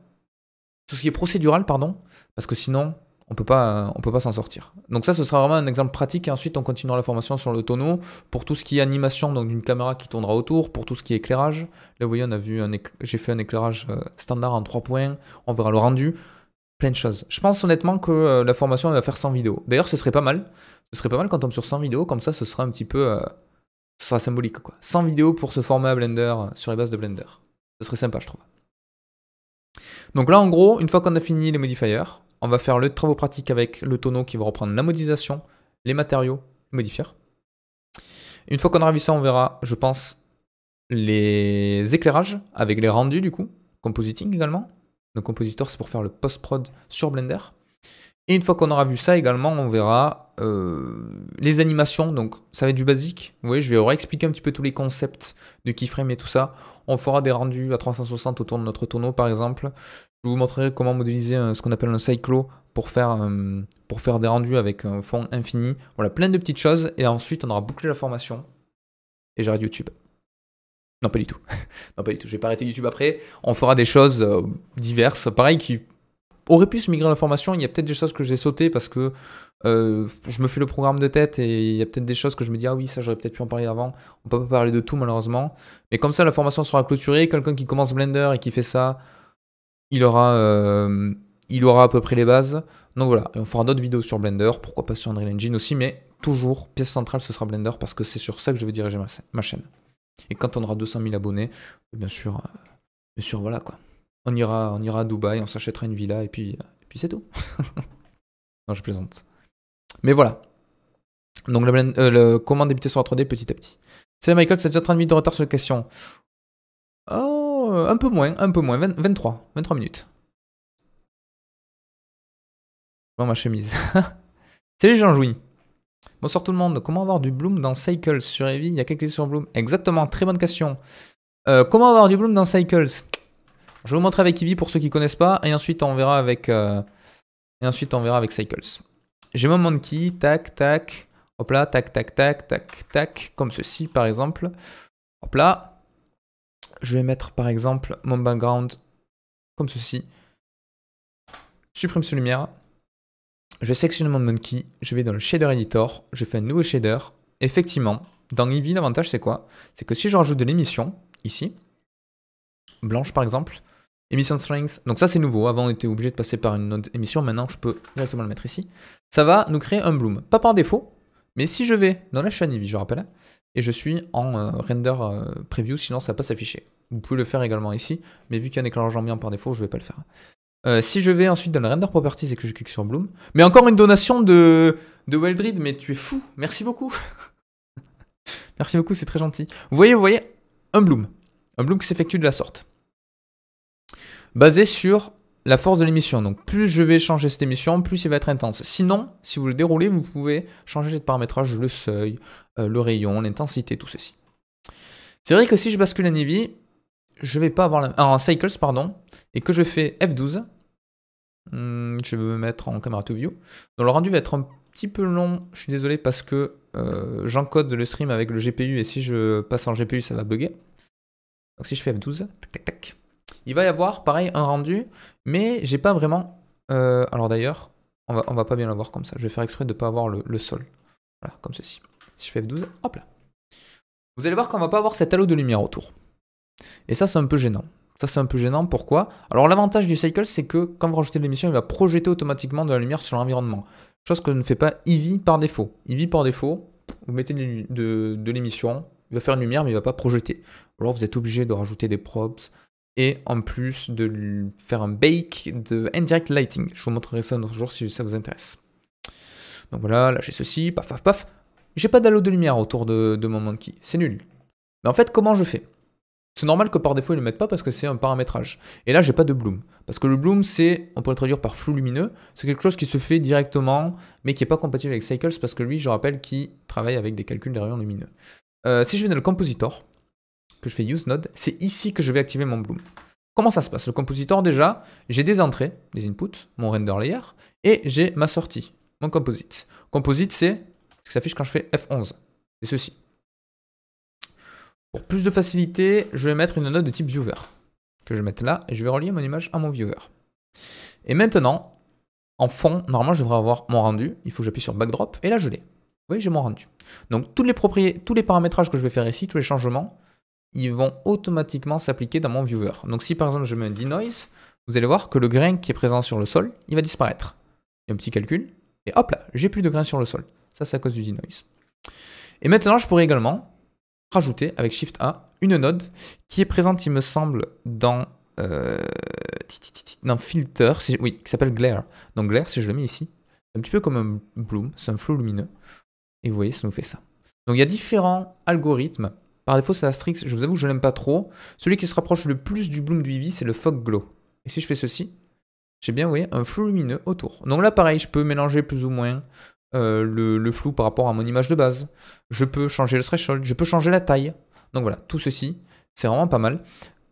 Et si je retourne dans le F11, il me l'a pas appliqué ici. Ça, c'est une erreur que beaucoup de personnes font. C'est parce qu'en réalité, là, vous travaillez uniquement sur un viewer qui va vous simuler tout ce qu'il y a ici.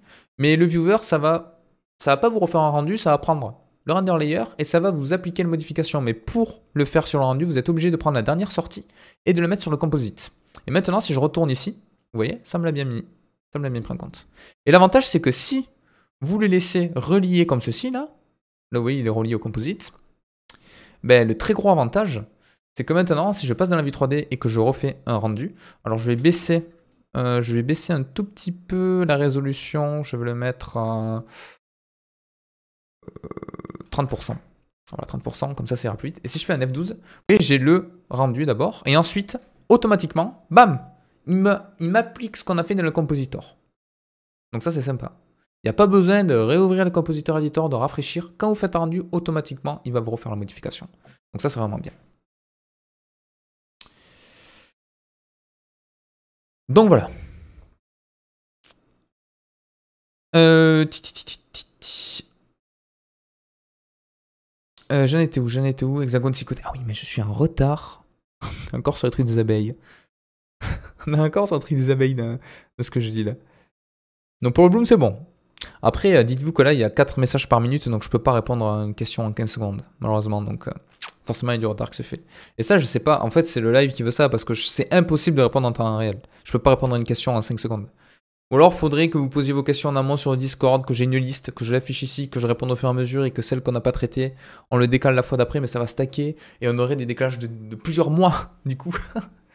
Ce serait assez insane. Mais bon, ou alors euh, j'ai aussi l'astuce, euh, je, je, réponds à la dernière question, comme ça je suis plus à jour, mais du coup, il vous faudra répéter celle du dessus. Je sais pas ce que vous préférez. Il faudrait peut-être que je réponde aux dernières questions, mais du coup, celle qui avait en haut, elle passe à la trappe. Et du coup, c'est celui qui insiste le plus, en gros, qui a sa réponse. Je trouve pas ça top. Mais bon. C'est simple, il faut rajouter une note Gléa. Exactement. Didic, t'as tout à fait raison. Ajouter une note Gléa. Vous avez raison, les alvéoles. Je vais voir le tonneau. Ben, le tonneau, vous l'avez vu. Hexagone 6 côtés. Ok. Il me semblait, mais j'étais pas sûr. J'ai dû faire plusieurs tests pour me dire ça, c'est une abeille. Que j'ai jamais utilisé. Du coup, je vais tester ça. Mais normalement, euh, du coup, vous, avez la réponse là. Du tour d'ordinateur. Ils sont exigeants, ces abonnés, c'est insane. Ah, j'aime bien le mot insane. Je sais pas si vous avez remarqué, je le dis tout le temps. Alors, pas en vidéo parce que ça fait pas très sérieux.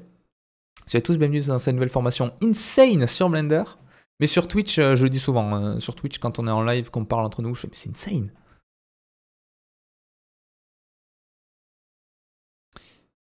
Alors, on fait un petit tour dans mes Wild Treat. Un Wild Treat qui a repris un, truc membre encore dessus. Mais merci beaucoup, c'est très gentil. Wild tu es fou. Mais c'est très généreux, merci beaucoup. As-tu déjà fait un tuto sur la place de rendu? Non, justement, on le verra dans la formation quand on verra le côté rendu. Euh, alors, pour ceux qui ne connaissent pas du tout, c'est quoi une passe de rendu? C'est quelque chose que vous pouvez activer ici. Oui, il y a des passes. Par exemple, vous pouvez faire...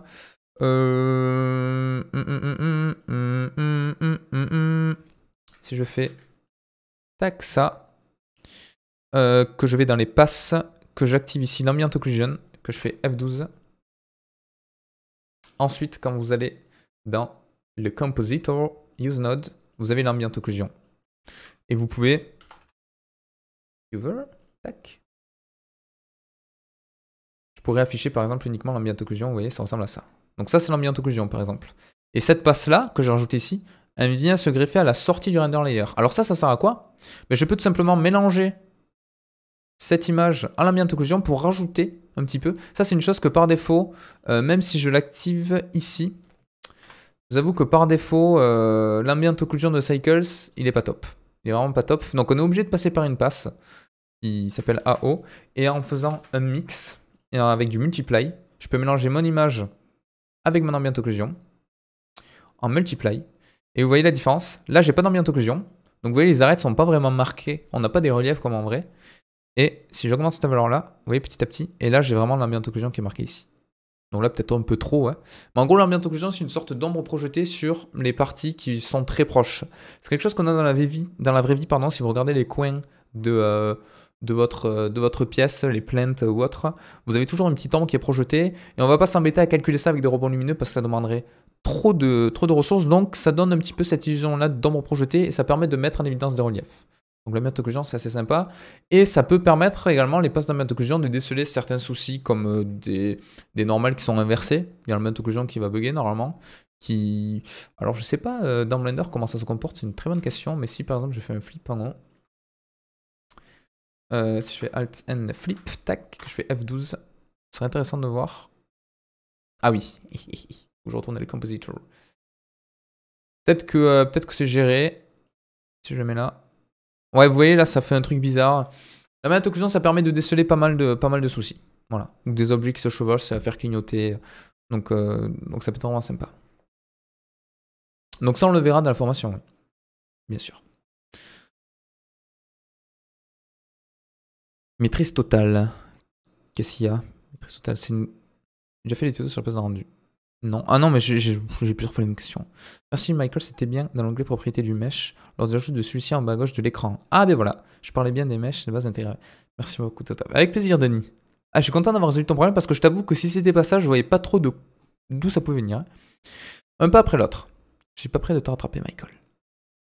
Et petit à petit, vous allez voir, vous allez, euh, vous allez comprendre, puis euh, c'est comme ça. Moi, je touchais un petit peu à tout sur l'interface et des fois, j'ai découvert des trucs qui m'intéressaient pas, mais je me disais, ah, mais ça pour une prochaine fois, ça peut être sympa. Voilà, il y a plein de choses. Vous allez vous tromper au début et c'est ça qui est bien parce que vous allez apprendre petit à petit. Comment tu fais pour faire un cube avec de l'eau ou de la lave dedans? Euh, Alors, euh, il y a plein de possibilités. Il y a plein de possibilités. Euh, tu pourrais par exemple prendre un cube sur un plan, faire un modifier de type euh, Ocean, comme ceci. Et on pourrait, on pourrait, on pourrait, on pourrait.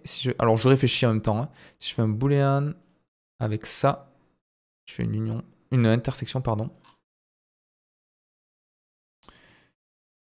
non, non, non, non, non, non, non, non, non, non, non, c'est l'inverse. C'est sur celui-là que je vais le mettre.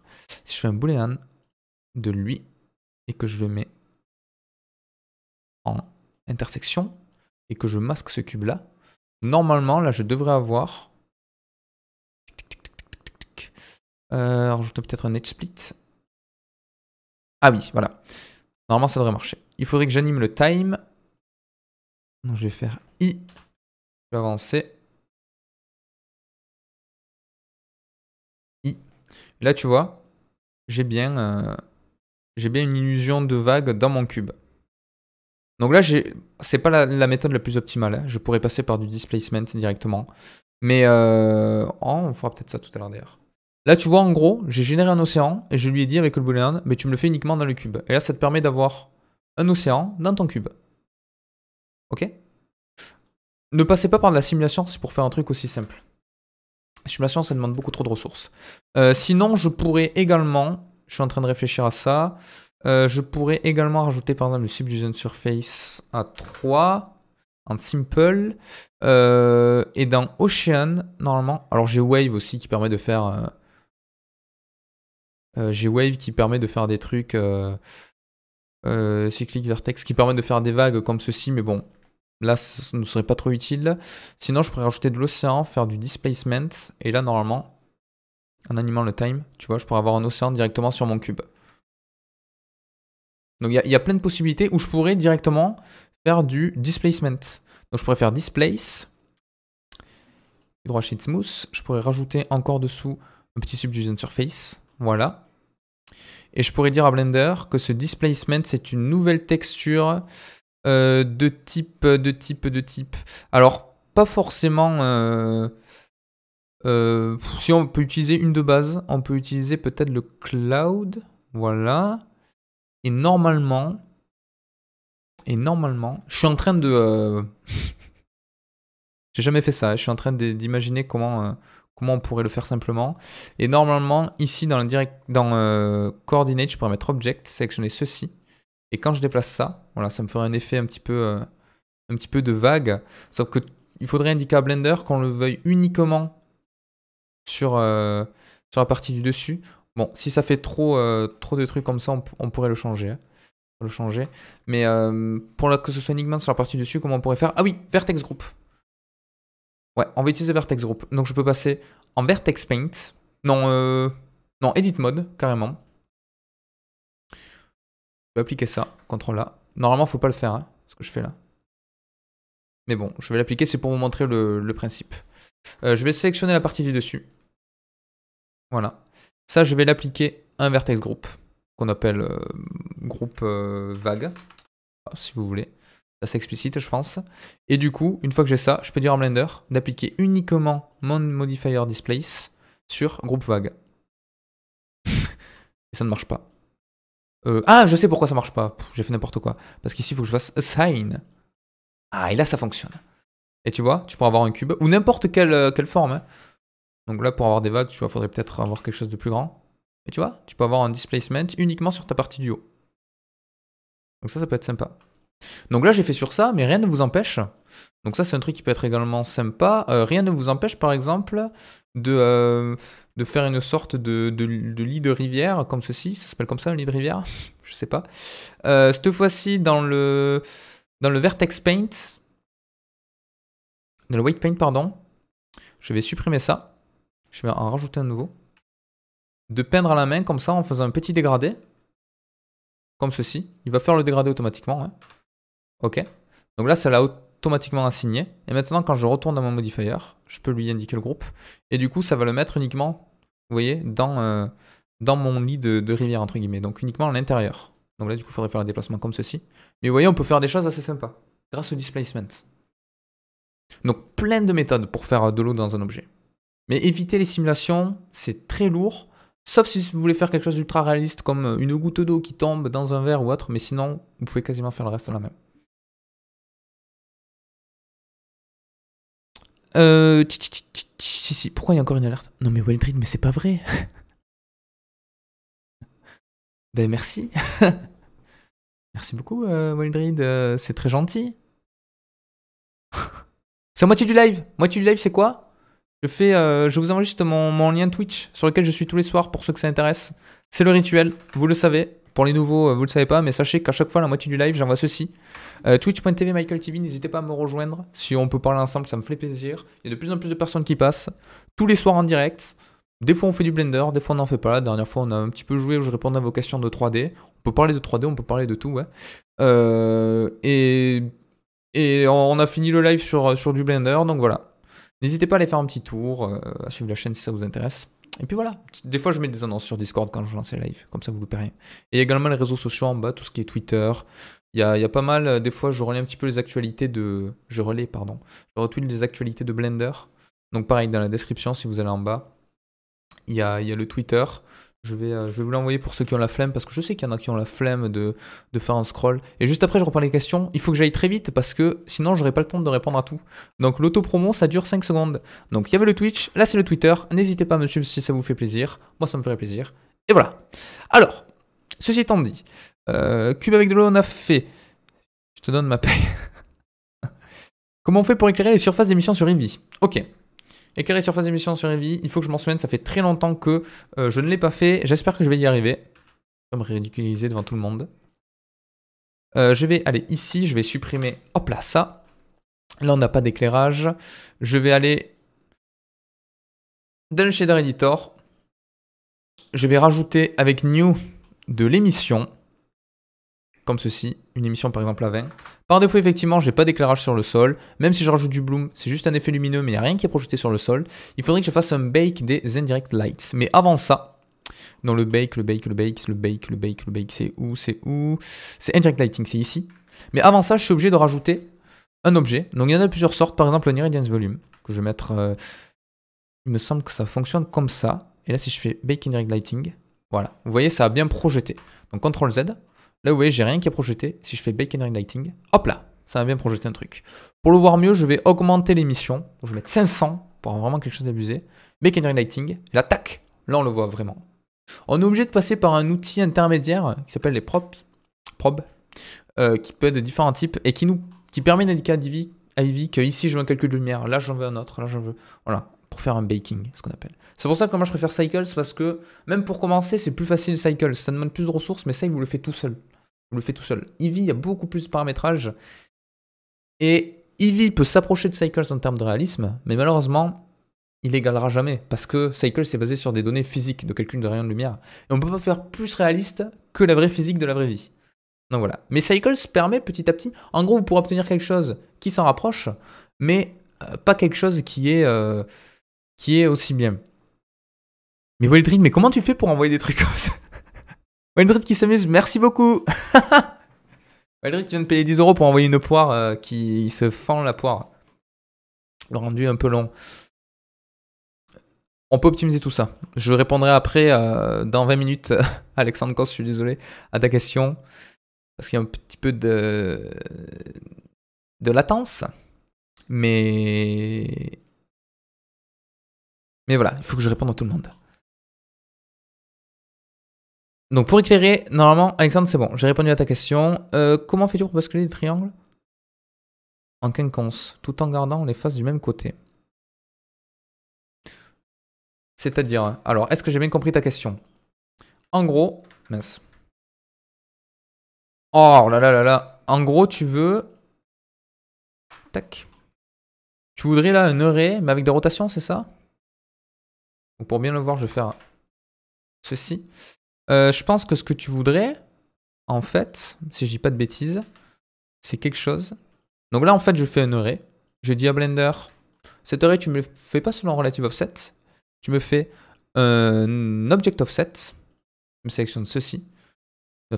Ah, mais ça y est Denis s'y met aussi. Bah, merci beaucoup, Denis, c'est très généreux. Merci, euh, Denis, merci beaucoup. merci beaucoup. Euh, je sais plus ce que je disais. Voilà, Object Offset, ça te permet de définir manuellement, tu vois, ton offset. Donc là, tu pourrais très bien faire... Euh, qu'est-ce que j'ai fait? J'ai décalé ceci? Non, alors attendez, attendez, attendez, je fais n'importe quoi. Offset empty. Mais alors attendez. Ah, ça va perturber ces donations là.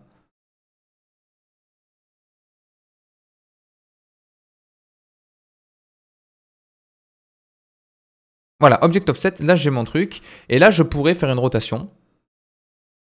En fait, c'est ça que tu veux, je pense. Tu le mets comme tu veux. Bon, là, je le fais rapidement, comme j'ai dit tout à l'heure, mais on pourrait le faire plus précisément. Et là, l'avantage, c'est que tu peux augmenter. Ah, qu'est-ce qui se passe là si je. Alors, attendez. Je viens de découvrir un truc qui ne fonctionne pas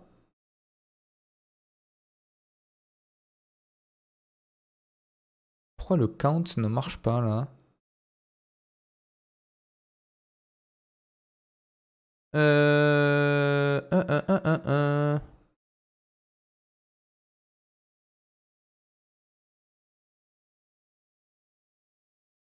Ah oui, parce qu'il se superpose. Ah ouais, non, en fait, c'est pas si facile que ça. Bon, ok. Méthode plus simple. Oublions le ray. Oublions le ray modifier. Tu prends ton objet. Tu peux passer en mode édition si tu veux. Tu le dupliques. Avec Shift D. Tu fais une rotation de 180 degrés. Voilà. Tu le mets comme ceci, par exemple, comme tu veux. Là, c'est un seul objet. Et maintenant, si tu rajoutes un array, non, pas ça. Si tu rajoutes un array, tac, ça fonctionne à peu près.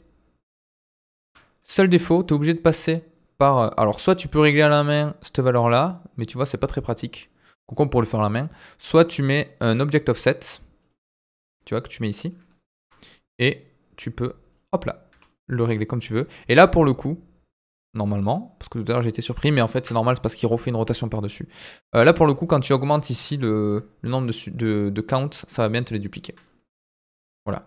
Mais après, c'est pas tu passes un, edit mode, tu le dupliques, tu fais une rotation de 50 degrés, et normalement c'est bon. Après, pour avoir tout ça de manière dynamique dans, euh, dans un modifier, c'est un petit peu plus compliqué. Je pense que c'est faisable, mais euh, peut-être qu'on reverra ça si tu veux une prochaine fois. Mais il faut juste jouer sur la rotation. Donc voilà.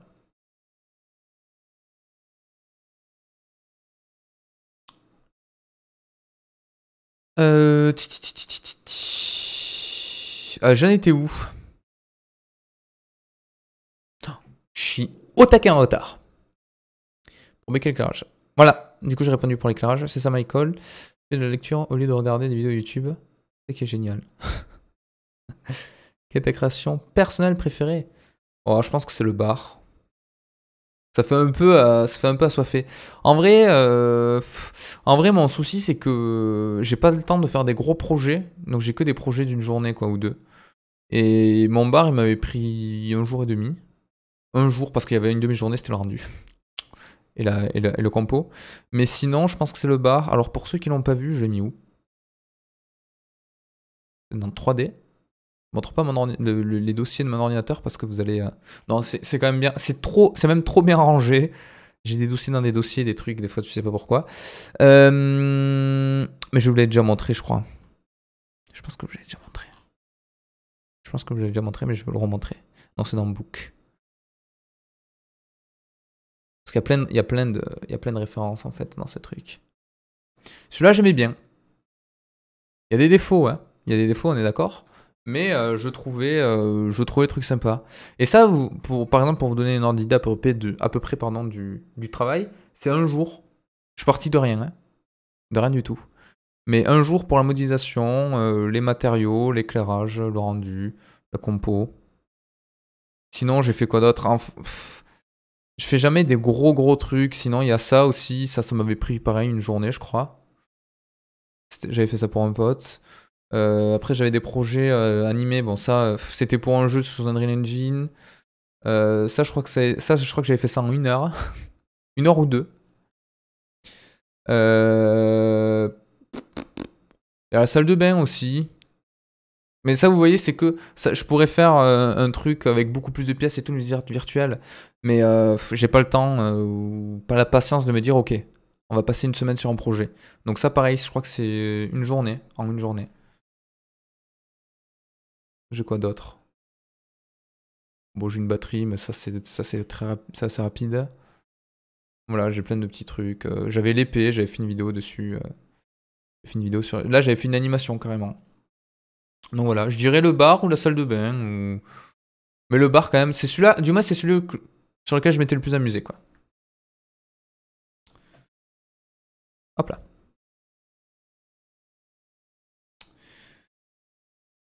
Euh... Pour l'éclairage en fait, ok ça c'est bon.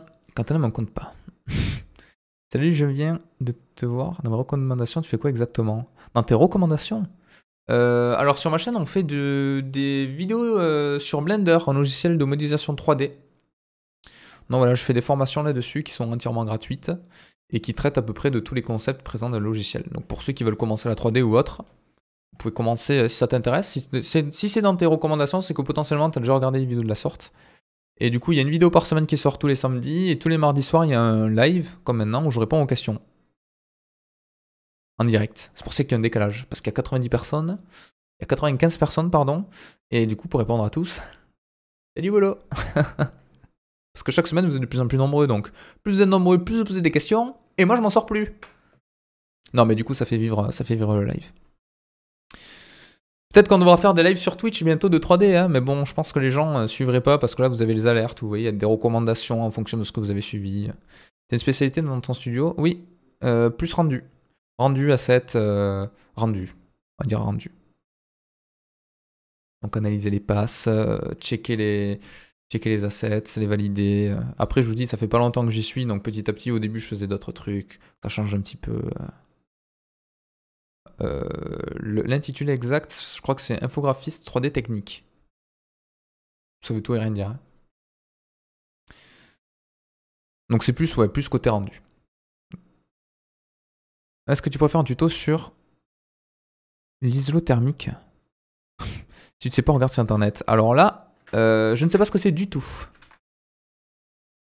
Ça n'a pas trouvé.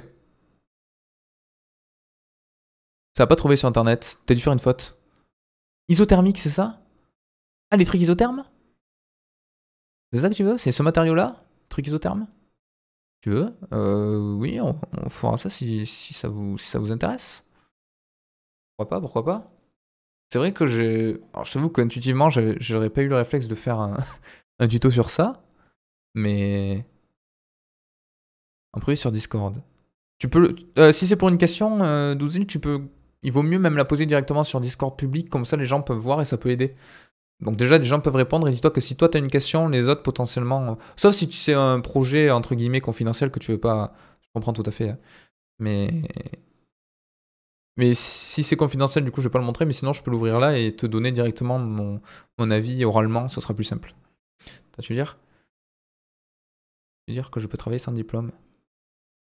Euh alors, c'est un diplôme. Moi, j'ai quand même le diplôme d'ingénieur, donc. Euh, donc, il y a quand même des, des, compétences, que ce soit en management ou d'autres trucs. Euh, c'est toujours bien d'avoir un diplôme. Après, sans diplôme de 3D, moi je travaille dans la 3D sans diplôme de 3D. Tu vois. Après, si t'as vraiment aucun diplôme, je sais pas. Je, je, je, m'occupe pas de recruter les gens, je sais pas. Mais tente, tente. Avec un book et tout, ça peut passer. Hein. Et encore 5 euros. Euh, merci beaucoup, Wendrid. Wendrid qui n'arrête pas. Ah, ce soir, ça n'arrête pas. Merci beaucoup. C'est fou. C'est très gentil. Salut, je viens d'aller voir le trailer de Trawilly. Pourquoi on ne m'a rien dit? Ça semble vraiment très bien, très cool. Pourquoi on t'a rien dit? Mais si t'es sur le Discord, j'avais euh, fait une, j'avais mis un message. Ali Tomaga. J'avais mis un message pour dire qu'il passait sur France Télévisions. Il y a encore un lien, vous pouvez le regarder en replay. Alors, euh, je pourrais peut-être vous le retrouver. Si vous allez ici sur Discord, que vous allez dans... Euh, j'en avais parlé où? Dans ce que je veux. Euh, dans ce que je veux, vous voyez, il est encore en rediff ici, sur France TV. Donc ça, c'est un film qui est réalisé par le studio dans lequel je travaille. Et j'avais mis une... J'avais mis le, truc de la com et tout. Pour ceux que ça intéresse, ce soir sur France 4 21h sera le film réalisé par le studio 3D dans lequel je travaille. Donc pour ceux que ça intéresse, vous pouvez le regarder et me donner votre avis dessus. Mais ce qui est très intéressant, euh, ça t'intéresse? On avait fait un. Euh, enfin, ils avaient fait je crois que c'était euh, la com. Bon, bref, je sais pas euh, quel service avait fait ça, mais ils avaient fait le making-of. Et le making-of Willy, ce qui est bien, c'est que vous voyez vraiment tous les corps de métier. Et des fois, on se rend pas compte, mais il y a plusieurs centaines de personnes qui travaillent sur un film. Parce qu'il y a ceux qui font euh, le storyboard, les dessins, ceux qui font la modélisation, ceux qui font le surfacing, donc les matériaux, ceux qui font le rigging, le setup, l'animation, le rendu, les éclairages, le compo, les sons, les doublages, les sons, les effets sonores, tout ça. Et tout ça, c'est expliqué. Vous tapez Willy Making of, vous allez le trouver. On voit mon bureau en plus. Bon, j'y étais pas à l'époque, mais. Pour l'autopologie, est-ce que Instant Meshes logiciel te semble bon? Je connais pas du tout, je suis désolé. Je fais pas du tout de topologie. Mais après, il faut regarder les avis. Je suppose que si le logiciel est utilisé, il doit faire des choses pas mal. Après, tu le vois vite. Hein. Tu essaies de... Euh... Valérie, c'est de la fausse monnaie.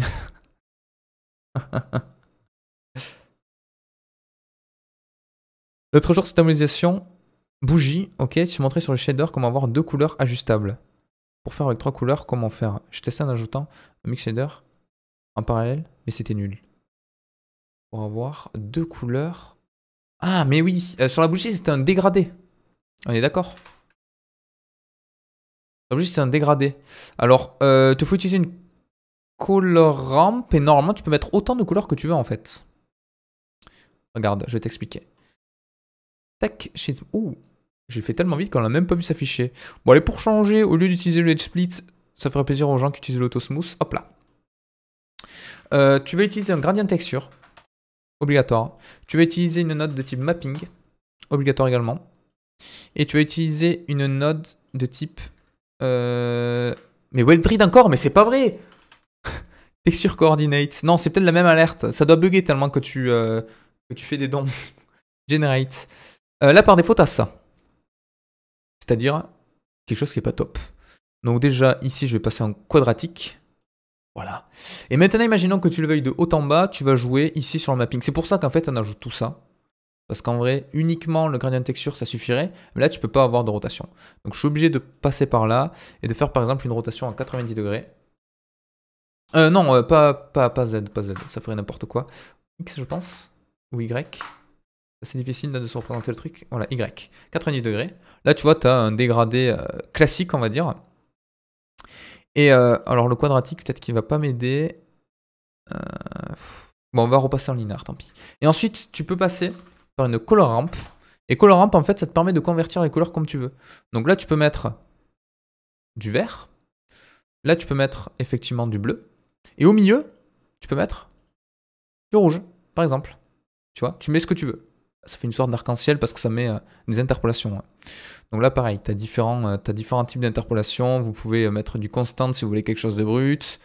vous pouvez mettre du is pour faire un dégradé, du cardinal. Il y a plein de petites choses. Ça, je vous laisse regarder parce que je ne peux pas tout expliquer. Mais, mais voilà, vous voyez Et vous pouvez même changer. vous pouvez même animer avec i si vous voulez les, les dégradés. Hop là et ça, si vous le mixez à d'autres choses, vous pouvez du coup animer, euh, par exemple, de la, de la rouille qui va apparaître sur un objet. Vous pouvez animer plein de choses. Mais pour faire plusieurs couleurs, c'est avec ça. C'est avec cette technique-là.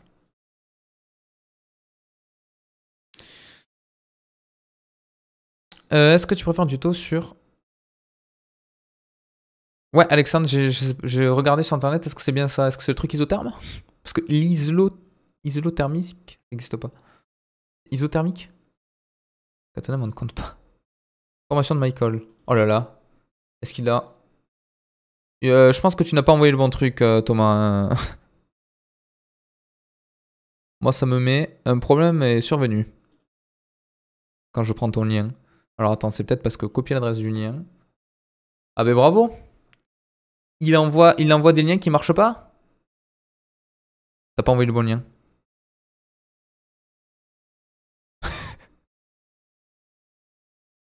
T'as pas envoyé le beau lien, euh, Thomas. Mais c'est pas grave, c'est pas grave. Je vais, euh, si ça vous intéresse, le lien de la formation, je vais vous le mettre de suite. Y a pas de souci, y a pas de souci, Thomas. Je te vois déjà paniquer, dire oh non, j'ai pas envoyé le bon lien. C'est pas grave, c'est pas grave. Débuter avec Blender. Normalement, ce lien-là devrait fonctionner. Tac Euh, je trouve les animaux particulièrement moches dans les anges de la jungle. ah, mais tu veux dire en termes de car design ou en termes de rendu? Euh, Parce qu'après, c'est vieux. Hein. Star Willy est beaucoup plus, euh, beaucoup plus soigné parce que c'est 2019, mais les as de la jungle, c'est assez vieux. Hein. Moi, perso, c'est mon premier jour et j'ai essayé de faire ton tuto de l'épée, mais l'autre jour, devant, je m'étais renseigné sur les touches du clavier, etc. J'ai pas encore fini l'épée. Voilà, tu vois, par exemple, Croton Laylee, je te le conseille pas trop. Pourquoi? Parce que il va te manquer certaines connaissances. Alors effectivement, tu vas peut-être arriver à faire l'épée, mais euh, si tu avais commencé par les bases, une fois que tu sais faire l'épée, tu pourras faire une hache, tu pourras faire un clavier, tu pourras faire plein de choses parce que c'est les mêmes techniques. Mais là, si tu fais directement l'épée, je pense que tu vas avoir des soucis, parce que tu vas avoir certaines choses qui, euh, qui, ne fonctionnent pas. Oui, Castello, c'est le cinquième live. Ah, mais j'ai deux fois. euh, J'ai deux, j'ai- deux chats différents. Je te conseille sa formation. Dis, est-ce que tu as fait des tutos d'animation 3D Ouais, j'en ai fait quelques-unes, euh, quelques-uns, quelques-unes. Quelques-uns tutos, quelques-unes vidéos. Euh, vous, vous tapez Michael Animation et sur YouTube et vous allez avoir la liste. Salut, euh, salut Romain. Après, que les trucs sympas, si tu connais les génériques de chaînes télé par exemple. Oui Les génériques de chaînes télé? Ah oui, euh, pour faire. euh, oui, c'est vrai. Pour s'entraîner, oui, ça peut être pas mal de faire des génériques de chaînes télé. Effectivement. Les M6, euh, faut pas citer de euh, M6, C8, TF1. euh, voilà tout ça. Oui, oui, en vrai, ça peut être sympa. Salut Philippe Lebon. Genre C8, ouais, on est d'accord. Et je suis ruiné, mais c'est pour la bonne cause. T'es fou, Wendrin, merci beaucoup. C'est une émission qui éclaire réellement comme une lumière classique. Avec production. Alors attends. C'est une émission qui éclaire réellement avec production de normes et compagnie. Merci, avec plaisir. Salut à tous et à tous. Salut Céros. C'est ma question. Ouais, il y a peut-être du retard sur les questions, c'est sûr même. J'ai loupé quoi? Ouh, pas mal de choses, mais il y aura la rediff, vous inquiétez pas. T'arrives pas à quoi, Alexandra Trop de questions. Ouais, quand ce fonctionnement, quand même, si tu réponds pas à toutes les questions, les gens peuvent les reposer ensuite. Oui, c'est vrai. On est bien, tout va bien. Ouais, oui, il y a du retard, mais ça va, on répond aux questions. Moi, le truc que je n'arrive pas à gérer, c'est les layers. Tu sais comment ça fonctionne? Ah, Je vous avoue que j'ai pas trop touché aux, layers de Blender. Faudrait que je, m'y intéresse. Après, qui dit layer dit peut-être que tu parles des passes? Ou tu parles vraiment des, calques? C'est pour faire des superpositions en compo, ça peut être intéressant. Je sais pas si on le verra dans la formation parce que c'est pas quelque chose que je considère comme du basique. Mais, euh, mais je ferai des trucs dessus si ça vous intéresse. J'arrive pas à faire les vêtements sur Blender. Les Close Simulation euh, Morgan Euh, Alors, tu as, as plusieurs méthodes. Si tu veux faire quelque chose de très cartoon, tu vas faire carrément la modélisation en dur sur ton objet. Si tu veux faire de la simulation, tu vas passer par du close. Donc, par exemple, tu prends un cylindre, voilà, tu fais une rotation. Donc, ça, ça va être pour les collisions. Imagine que ça, c'est un bras. Donc là, je le fais très rapide. Ça, c'est ton bras. Ça, ça va être ton vêtement. Tu peux faire de plein de manières. Si tu veux simuler un vêtement sur ton, euh, bras, tu vas entre guillemets. Alors, tu as plusieurs. euh, comment je pourrais expliquer ça simplement? Comme ça, je sais même pas si ça va fonctionner. En, réalité, ça, on le fait très peu, mais je pense que c'est ça ta question. Mais en réalité, on va, va jamais utiliser cette technique-là. Parce que c'est pas très. Euh... Euh, mince, qu'est-ce que j'ai fait là? Tac, tac. C'est pas, comme ça normalement qu'on va travailler. Mais bon, je, vais vous le montrer. Euh, là sur, euh, mon, euh, sur mon cylindre, pardon, je peux lui indiquer que je veux une simulation de cloth, donc de vêtements. Sur mon bras, je vais par exemple rajouter une collision. Et là, si je fais espace, vous voyez, j'ai bien une collision qui s'effectue. Et donc ça, ça peut servir pour faire des vêtements. Donc là, il est, beaucoup trop ample par défaut, et du coup, ça ne fait quelque chose qui ressemble pas à grand chose. Je fais SY comme ceci, que je refais une simulation. Tu vois? Là, tu peux avoir un début de vêtement. Et l'avantage, c'est que, également, quand tu vas bouger ton, euh, bras, tu vois, tu as les vêtements qui peuvent suivre. Bon, là, je suis passé à travers parce que j'ai trop bougé. Mais voilà. Mais dans la réalité, très peu de fois, on va utiliser cette technique-là. Très peu souvent, on va utiliser ça. Ça, à la limite, on peut s'en servir pour faire une pose de base d'un vêtement et ensuite, on va le, remo le remodifier en sculpture. Donc, comment on fait pour appliquer une pose? Tout simplement, cette pose, elle me paraît pas mal. Ok? Donc, vous allez faire CTRL A ici, ou Apply sur le modifier. Et maintenant, j'ai plus de simulation. Je peux supprimer, euh, je vais garder mon bras. Mais là, du coup, j'ai mon objet. Je pourrais, par exemple, rajouter des subdivisions comme ceci. Et je pourrais passer en Sculpt Mode et rajouter euh, des détails. Alors là, ça me fait un truc bizarre parce qu'il faut appliquer l'échelle.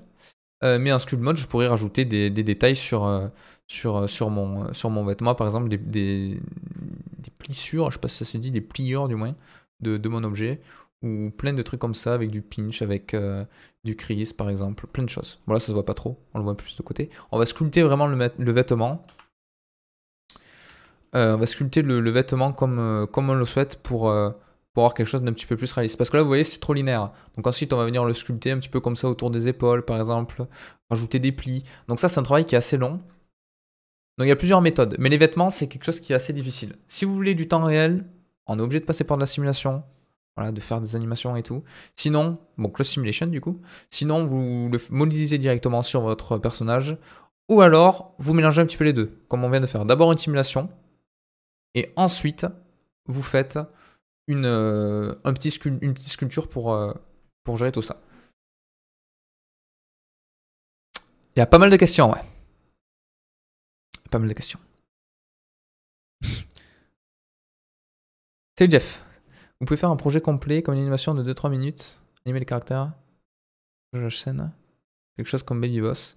Oui, alors ça, ça, on peut. Alors déjà, je suis pas du tout spécialiste en animation et en car design, mais ça, c'est tout à fait faisable avec Blender. Mais une animation, si vous voulez une formation sur une animation qui dure 2-3 minutes, honnêtement, euh, il faut une, formation qui fait 100 heures, quoi. À peu près. C'est très très long. Hein. Des, fois, les gens se rendent pas compte, mais c'est extrêmement long de faire une animation. Hein. Parce qu'il faut faire la modélisation, il faut faire le rigging, il faut faire euh, l'animation, il faut faire l'éclairage, il faut faire le rendu, il faut faire le compo.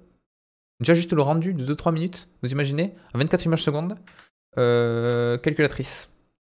24 images par seconde, donc par minute, ça fait 1440 images.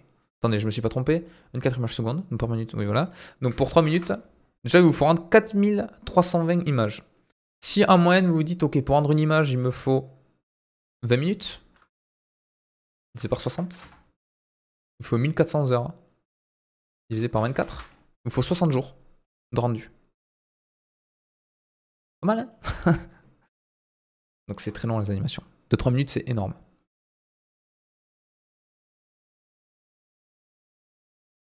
J'aime bien les gens qui s'investissent comme toi. Tu comptes pas tes heures et tu te permets de faire de live respect. Mais c'est très gentil, merci beaucoup je fais pour vous. Je m'étais fait une promesse hein, quand j'ai commencé Blender, je me suis dit le jour où j'estime avoir un niveau qui permet d'apprendre des choses aux gens, de partager le savoir, mais plutôt que les gens galèrent comme j'ai galéré, eh bien on le fournira gratuitement. C'est ce que je fais sur YouTube. Et j'en suis fier, enfin je suis content. Je suis content de voir qu'il y a de plus en plus de gens qui suivent, ça fait plaisir. Et merci beaucoup une fois de plus, Weldrid. Mais c'est pas possible. Mais quand est-ce que tu vas t'arrêter? Dommage qu'on ne nous sommes pas sur Twitch, parce que sur Twitch, à chaque fois qu'il y a une donation comme ça, il y a des pièces qui passent de partout. J'ai fait une animation en 3D avec Blender, je pourrais vous la montrer si ça vous intéresse. Et vous, avec un canal alpha et tout. Mais merci beaucoup, c'est très gentil. Je pense que je ne te rends pas compte du temps qu'il faut pour faire ce... C'est possible, mais il me faudrait une formation. Alors je pense que personnellement, en le faisant, déjà, il me faudrait peut-être 100 heures. Donc pour l'expliquer en plus, il faut peut-être 400 heures, quoi. C'est énorme. C'est insane, comme j'aime bien dire. La moitié de là, tu peux. Avec plaisir, Jonathan. Je suis pas riche. Mais j'aime les gens vrais. Mais en tout cas, c'est très gentil. Merci beaucoup. Non, mais te ruine pas pour moi quand même. Hein. C'est ça si tu en as les moyens. J'ai pas envie de, te faucher quand même. Sinon, j'aurais fait mes formations payantes. Quand même. Le but, c'est que ce soit gratuit. Mais en tout cas, ça me fait très plaisir. C'est très gentil. Merci beaucoup. Il y, en a, il y en a certains de temps en temps qui font ça. Et c'est je préfère me dire, je fais le truc entièrement gratuit. S'il y en a comme Weldrin des fois qui, veulent participer, c'est très gentil. Mais comme ça, c'est accessible à tout le monde. Vous n'êtes pas, obligé de, vous pas obligé de payer pour avoir du Jamais je ferai ceux qui payent, ils ont du contenu supplémentaire. Non, non, jamais. Et j'ai pris l'accent du Sud euh, quand j'ai dit ça, vous voyez, encore plus. Je sais pas pourquoi.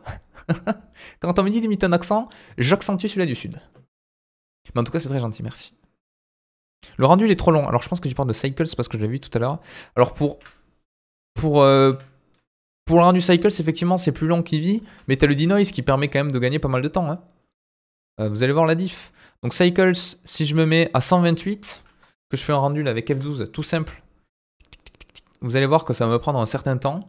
Voilà, en plus j'ai l'encodage, euh, du stream, tout ça, donc ça, ça bouffe pas mal en ressources. Ça me bouffe vraiment beaucoup même. Vous allez voir ce que je vais vous dire. Je pense que là, on va être à peu près à une minute en temps de rendu. Donc ça, ça, ça, dépend uniquement de votre machine. Là, je suis en rendu CPU. En GPU, ça irait beaucoup plus vite. Mais comme je dis tout à l'heure, j'utilise le GPU déjà pour vous envoyer la vidéo. Donc on va éviter. Vous allez voir que je peux obtenir le même rendu avec moins de samples et même de meilleure qualité. Parce qu'on va enlever les grains, le grain pardon, avec du denoise. Vous allez voir. Là, j'avais dit à peu près une minute. va peut-être être à 45-50 secondes. Ici, le nombre de samples. Donc vous dites, oh, il va baisser la qualité. Je vais quasiment le diviser par deux.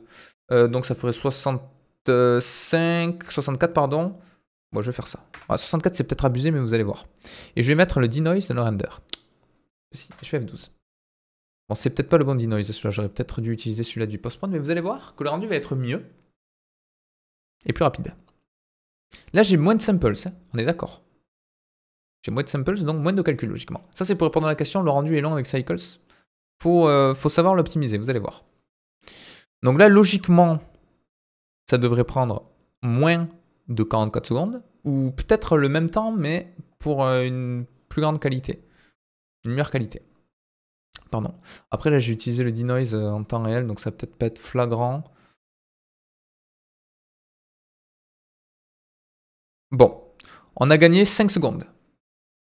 5 secondes sur un rendu de 40, c'est quand même pas mal. Hein Et regardez la différence en termes de qualité. Là, c'est 45 secondes, j'ai du grain de partout, c'est pas top. Et là, j'avais 128 samples. Là, j'ai baissé le nombre de samples. Et pourtant, j'ai une meilleure qualité. J'ai une meilleure qualité parce que j'ai du noise. Et en plus, ça va plus vite. Donc, vous voyez, en optimisant ceci, on peut vraiment obtenir des trucs top. Et là, j'ai utilisé le denoising ici de le render, alors que si j'utilise en compo, ça ira beaucoup plus vite. Ça ira beaucoup plus vite. Donc, je pourrais vous faire la démo, mais bon, il y a plein de questions. Mais on peut vraiment gagner du temps en utilisant le denoising.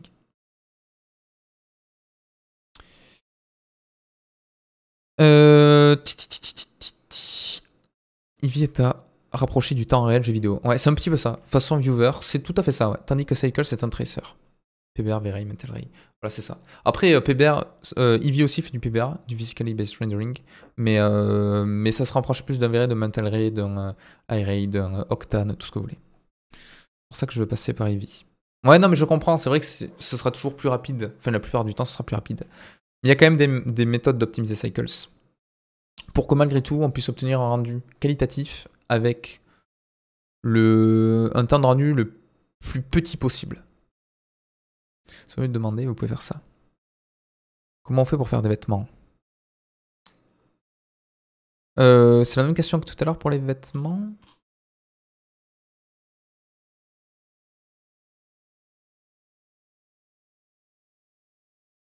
Euh, Morgan, je pense que je t'ai répondu tout à l'heure. Sinon, il faut les modéliser en fait comme un, euh, comme un objet classique, quoi. Et les vêtements, il y a beaucoup de sculptures. Pour avoir quelque chose d'un petit peu harmonieux, d'avoir un petit peu une forme organique. 17 sur 38. Allez, tu vas y arriver. Afro Jojo, t'inquiète pas. Et il y en a qui arrivent toutes les semaines en plus. Donc quand tu vas rattraper, il y en aura d'autres. Très quinconce. Mais c'est ce que j'ai fait tout à l'heure, non? Merci pour ce que tu fais. Avec plaisir. Avec plaisir, avec plaisir. T'as gagné ta soirée là. Lancer le truc. Tu m'as inspiré.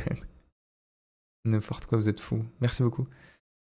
Je vais refaire en live tous les soirs. Ouais, mais en fait, je vais quitter mon boulot, puis je vais être. Euh, voilà, je vais faire des formations et... des lives tous les soirs, quoi. C'est très gentil. Mais on distribue gratuitement. Les vidéos sont gratuites. Plutôt que les. Si vous regardez le prix des formations 3D, c'est très cher. Sur Udemy et tout, euh, ou même d'autres formateurs, c'est des fois c'est 150, 200, 300 euros la formation.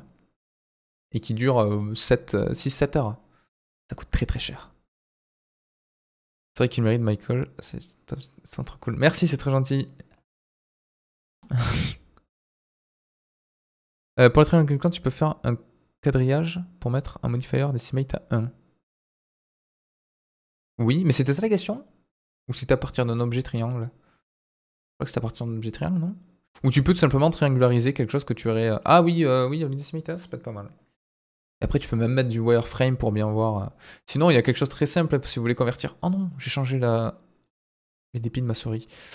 Euh, sinon, vous pouvez également triangulariser votre maillage, triangulate faces. Bon là, c'est pas, ce sera pas tout à fait des triangles homogènes, mais et ensuite wireframe et hop là. Voyez comment c'est beau? J'ai des triangles. Ça pour faire, vous savez, les, les, lampadaires, les lustres là, un petit peu scandinaves, sont pas embêtés. Hein comme ça, et puis c'est fini.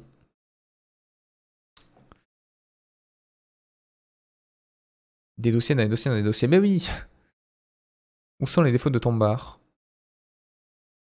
Euh, Je pense que j'aurais pu améliorer l'éclairage. Il y a 2-3 coutures UV qui sont visibles à l'œil nu, si vous savez où elles sont. Moi je sais où elles sont, donc maintenant je les vois. Après, en passant plus de temps, on peut tout, on peut tout améliorer. On peut tout améliorer. Inception. C'est ça, Inception. Qu'arrivera la vidéo, résultat concours euh, Pas ce week-end, mais l'autre. Ce week-end, on se réunit avec le jury pour, euh, pour, euh, pour parler un petit peu de tout ce qui a été fait. Et j'ai pas répondu à tout le monde, d'ailleurs, je le ferai dès que j'ai le temps. Ça prend du temps. J'ai reçu 40 mails, je crois, voire un peu plus. Donc il faut que je réponde à tout le monde, que je, que je vérifie que, que l'image correspondait bien au thème et tout. Donc ça prend beaucoup de temps. Mais pas ce week-end, l'autre, normalement. Je peux faire un coucou, mais je reste pas. Michael, il y a combien de participants pour le concours? Allez, c'est ma question. Bonne soirée. Euh, merci de passer, Thomas. Alors, je sais pas si t'es encore là, du coup. Euh, je crois qu'il y a à peu près une quarantaine de personnes. Donc voilà. Utilises-tu une tablette? Non, j'ai pas de tablette graphique. 10 jours à peu près, c'est ça. Un petit peu plus. Ouais, 10 jours, 10 jours. Tu feras un tuto sur les incrustations Tracken pour la vidéo. C'est pas prévu dans la formation, pourquoi pas plus tard? Oui. Priorité au petit breton. De quoi? J'ai vidé mon compte. Wildread. Reste sage, reste sage. Euh, salut Misterno. Hey, salut, je suis nouveau, c'est grâce à toi que je me suis mis à Blender, donc merci beaucoup. Et bien avec plaisir Mathéo, merci à toi. Salut. C'est quoi que tu fais avec les triangles Je répondais à une question, je répondais à une question. C'est quoi le displacement? Le displacement, c'est quelque chose qui permet de changer ta, la topologie en fonction d'une texture. En gros, ça va changer la hauteur à partir de la valeur noir et blanc. Donc, euh, pour le comprendre simplement, Imagine, je prends un plan. Donc, on est obligé de rajouter des subdivisions quand tu utilises le modifier. Euh, si je mets un modifier de type displace, c'est le displacement, je vais créer une nouvelle texture. Et si je prends par exemple une texture qui ressemble à ceci, tu vois, on le voit bien. Si je prends une texture qui ressemble à ça, tu vois, noir et blanc, eh ça va en gros indiquer à Blender que quand euh, la texture de telle couleur, j'ai une montée de ma hauteur, et quand elle est noire, j'ai par exemple une descente. Enfin, ça va changer ceci.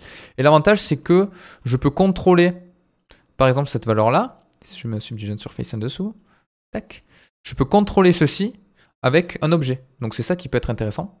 C'est que je peux dire en Blender, ok, tu me fais une direction ah, je pourrais mettre un normal, custom normal, set. Bon, je découvre des choses en même temps. Euh... C'était quoi? Un normal. Euh, je peux lui dire en fonction d'un objet, cet objet c'est mon empty.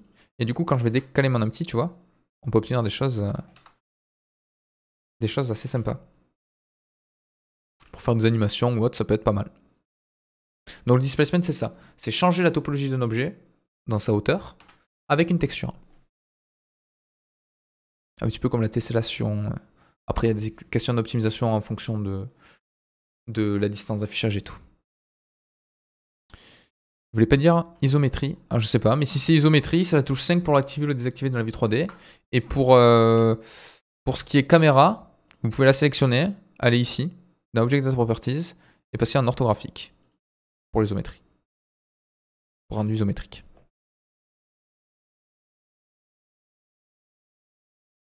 En fait, il est tout complet car en français. Merci, je te souris régulièrement. Mais c'est très gentil, merci beaucoup. Est-il possible de faire une toile tendue par quatre coins en utilisant le classe? Tout à fait. Tout à fait, tout à fait. Euh, pour faire euh, une toile tendue, tu dois utiliser ce qu'on appelle du, euh, pin. donc en français, c'est une punaise. ouais, une punaise, enfin un, pin mince, j'ai plus le nom français. Si, ça doit être une punaise. voilà, un, point d'attache. Donc ça, imaginons que ce soit ta toile, voilà, comme ceci. Je vais appliquer l'échelle. tu peux rajouter des subdivisions. Tu peux rajouter du close. Par défaut, ça va faire ça, tout à fait normal. Toi, ce que tu voudrais, c'est fixer les coins, par exemple. Et vous allez rigoler parce que j'ai dit coin, parce que je viens de Toulouse. je suis avéronné, mais habitant à Toulouse, donc c'est quand même l'accent du sud. Euh, une fois que tu as sélectionné ça, tu peux aller ici, faire un vertex group et assigner à ces points-là. Celui-là, tu peux l'appeler groupe euh, pin, par exemple. Et maintenant, si tu vas dans euh, si tu vas si tu vas dans le physics properties, voilà dans ton close, si tu l'as rajouté ici, Normalement, tu as quelque chose. Euh, property weight. Euh, oh, ils ont changé ça. Il y a un truc qui doit s'appeler pin group. Voilà, ici. Tu prends ton pin group. Et là, tu vois, c'est bien fixé. Alors, ça, on peut s'en apercevoir encore mieux. Si par exemple, je rajoute du subdivision surface dessous. En simple. Tu vois, là, on s'en aperçoit. Bon, ça rame un petit peu, c'est normal. Et on pourrait encore plus s'en apercevoir si je rajoutais euh, par exemple, un cycle ici, que je fais une petite rotation et que j'y mets un force field à 50. Non, il a pas envie? Euh, Ah non, pardon. Un wind. Voilà. Et là, on retombe un petit peu sur ce que j'avais fait la vidéo du drapeau. Mais là, tu vois, on a bien un champ de force qui s'effectue. Je le mets à 500. Là, tu le vois bien que la toile est tendue. Après, tu peux gérer pour une toile, ce qui va être un petit peu différent des paramétrages de base, c'est que par défaut, c'est vraiment basé sur des propriétés physiques d'un tissu. Donc toi, pour une toile, tu vas devoir changer un petit peu là, tout ce qui est euh, tout ce qui est tension, tu vois, tu peux le voir en temps réel, tout ce qui est euh, compression, tout ce qui est euh, les plissures et tout ça. Donc shear, c'est la ça la souplesse de ton tissu. Tu vois, si je le mets à zéro, il va avoir tendance vraiment à flotter. Si je le mets à quelque chose de très élevé, il va rester très rigide. Non, voilà, c'est grâce à ça que tu peux le faire. Je voudrais faire un rendu une animation en mode dessin animé, c'est possible, avec les contours noirs autour de personnage. Oui, plusieurs possibilités. Oh, il faut que je réponde très vite. Euh, plusieurs possibilités. Il te faut regarder du côté du... Euh, ce qu'on appelle le... Euh. Comment ça s'appelle déjà Le freestyle. En gros, tu vas ici. Tu dis à Blender, je veux activer le freestyle.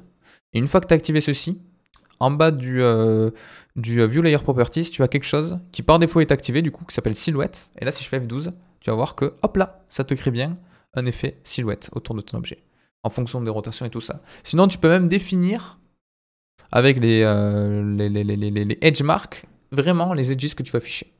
Donc voilà, silhouette, freestyle, activé. Pensez bien à l'activer ici parce que normalement là si je vais ici, il n'y est pas. Hein. Donc il faut bien aller dans le render properties pour activer.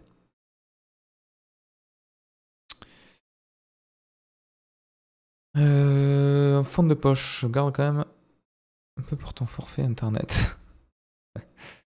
Salut, c'est shading on dit. Ouais, c'est une sorte de shading, ouais.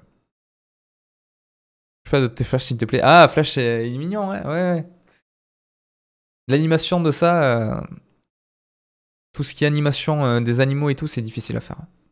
Mais après, dans les As de la jungle, c'est ça qu'il faisait principalement. Donc, euh, voilà, je m'absente 15 minutes. Ça fait 3 dents de plus, quoi. Avec plaisir, Michael. C'est très gentil. Mais il redonne 20 balles Mais c'est pas vrai Heureusement que j'ai un compresseur sur mon micro, sinon je voudrais éclater les oreilles, là. Merci beaucoup, c'est très gentil. Non, mais tu te rends compte? Ah là là là là, Wildreed, Wildreed Merci beaucoup.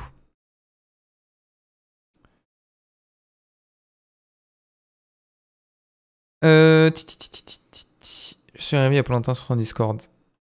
Eh bien, pas de soucis. Ok, merci pour la making of, Terwilly.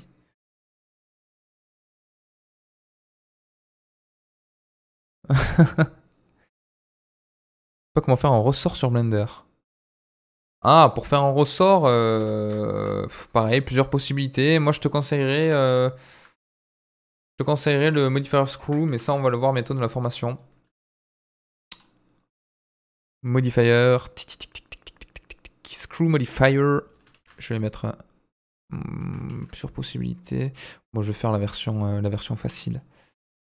Tac, tac, tac. Et voilà un screw, tout simplement, un screw modifier qui permet de faire une sorte de spin avec une.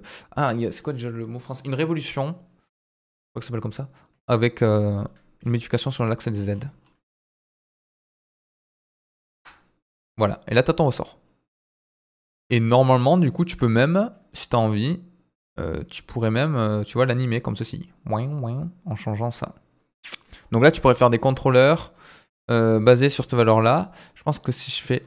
Ah, d'ailleurs, alors, je vous avoue que là, ce que je suis en train de faire, j'ai jamais fait, donc c'est pas le bon moment, mais j'ai quand même envie d'essayer. Cette valeur-là, si je fais clic droit, add driver. Ah ouais, mais là... Object, empty. Et là, normalement... Alors, je, je fais peut-être n'importe quoi.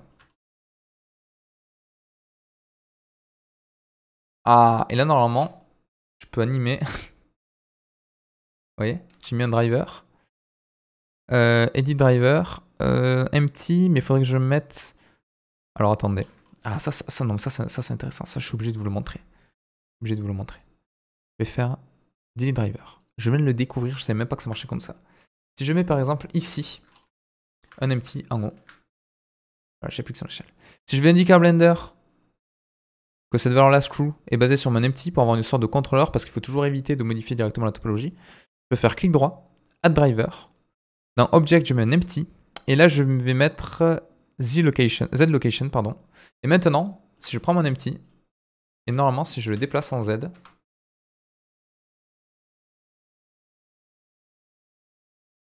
euh, non, il veut pas. Ah non, il me prend le... Il me prend le moins X. Mais non, pas X location, j'ai mis... Ah non, Z. Ah, je me suis planté. Tac. Et vous voyez, quand je vais déplacer mon empty, je peux faire des animations, par exemple, de, de ressorts comme ceci. Doink, doink, doink. Donc ça, ça peut être sympa. Faut que je fasse des vidéos sur ça, il y a plein de choses à faire. Plein de choses à faire.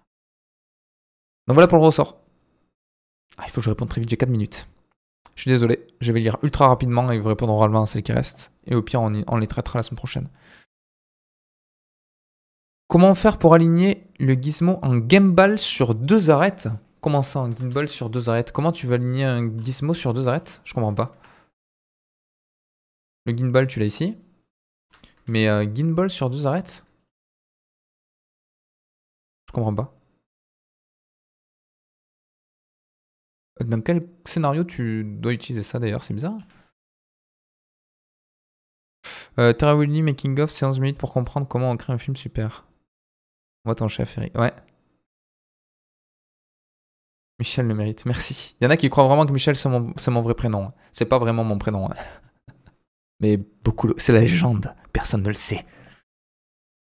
Mais si j'ai envoyé le bon lien. Ah bon? Bah moi quand j'ai cliqué ça marchait pas. Mais c'est peut-être parce que j'ai le, truc studio et tout, administrateur, euh, tout ça. Eh oui, c'est le maintain line. Quelle a toujours raccourci Pourquoi c'est plus d'animation dans Blender? Ça touche I, chips. I comme insert euh, keyframe. Ça date de 2020 le lien. Euh, je sais pas. Comment faire un ressort sur Blender? Du coup c'était ça. Bon, ça aurait été possible d'afficher le temps total pour le rendu d'une animation une composition vidéo. Le temps total, mais c'est les keyframes.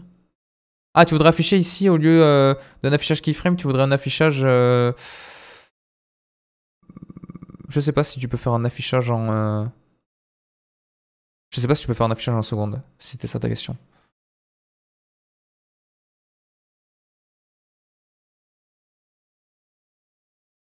Ouais, ouais, mais quand tu vas dans le layer, si tu veux, je savais pas si ta question c'était vraiment sur les layers ou euh, sur les passes. Perso, j'utilise juste le denoise et le mist. Ouais. Direct light avec les props et tout ça fait, ça marche pas comme je veux. Comment ça, ça marche pas comme tu veux? T'as peut-être pas cette qualité. Le téléphone portable pour commencer est pas mal dans les tutos. Michael. Ouais, t'as tout à fait raison, Julia. Le téléphone est pas mal, ça permet de voir un petit peu le, une modélisation assez simple et vous avez un rendu, euh, un rendu quand même à la fin.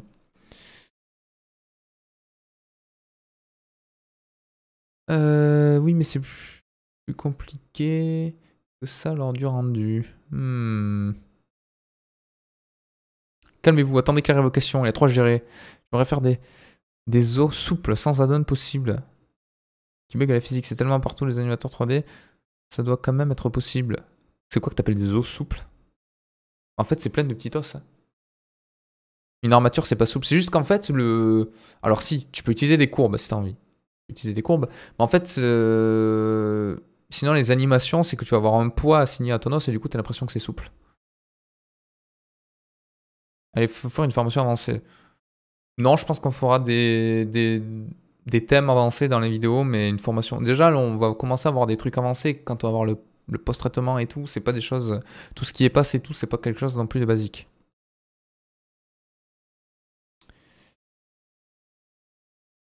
Du rig, c'est quoi ton matos? GTX 1080, euh, i7 9700K, euh, 16 Go de RAM. Et je pense que c'est tout ce qui vous intéresse. Disque dur et tout, ça change rien pour Blender. Avec plaisir Morgan. Michael dit absolument tous vos messages, vous en faites pas. Je lis tout, je lis tout. Bon, à la fin, c'est un peu speed. Comment peut-on simuler rapidement de la fumée? Puis la paramétrer très rapidement. La fumée, tu rajoutes par exemple euh, une sphère, tu fais Object, Quick Effect, Quick Smoke. Tu appuies sur espace, tu as de la fumée. Ensuite, pour le paramétrer, tu sélectionnes ton domain qui est ici.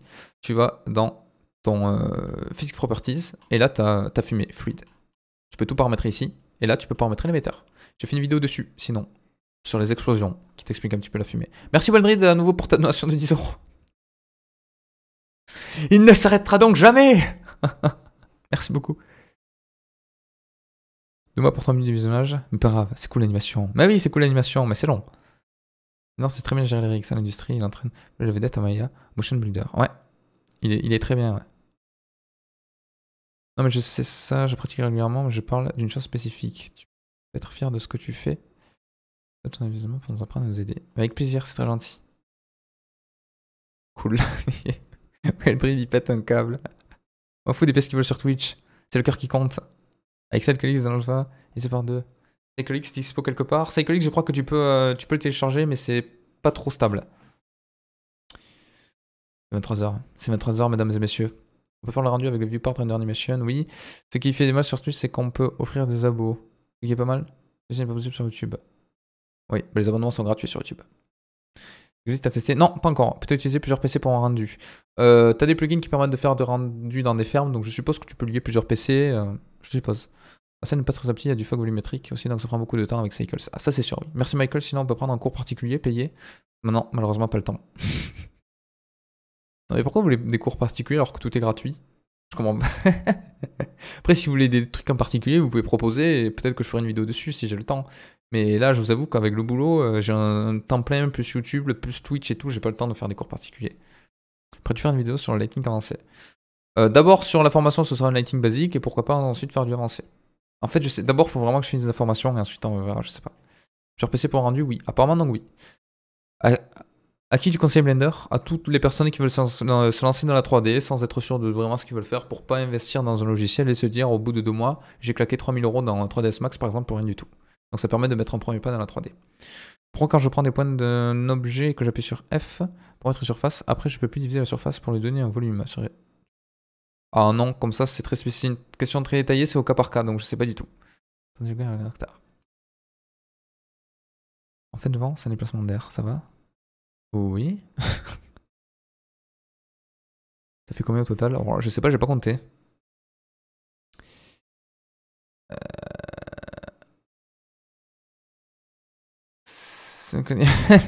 en l'argent J'essaie de faire une toile tendue par 4 cordes, j'ai essayé.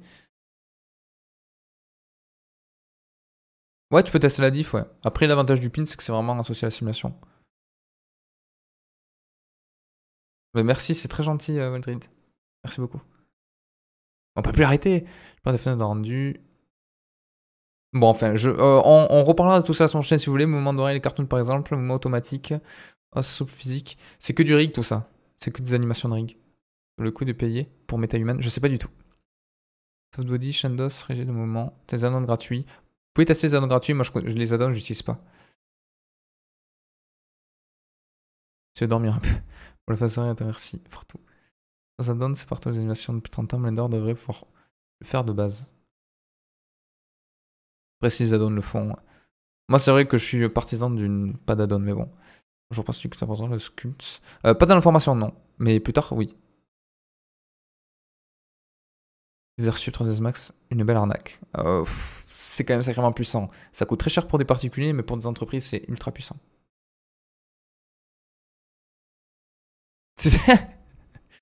Bon, en tout cas, euh, merci à tous d'avoir suivi ce live. Merci de plus en plus à suivre les, les vidéos de la formation, ça fait plaisir. N'hésitez pas à rejoindre le Discord pour ceux que ça intéresse. Euh, je mets le lien dans la description.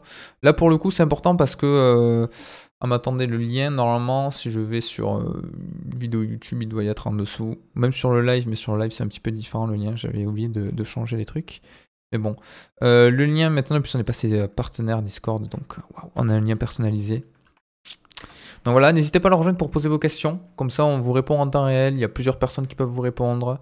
Euh, il y a des salons vocaux, on peut partager des écrans, vous pouvez faire plein de choses. Vous pouvez catégoriser. Si vous avez une question modélisation, vous allez dans modélisation. Si vous avez une question matériau, vous allez dans matériaux. Voilà.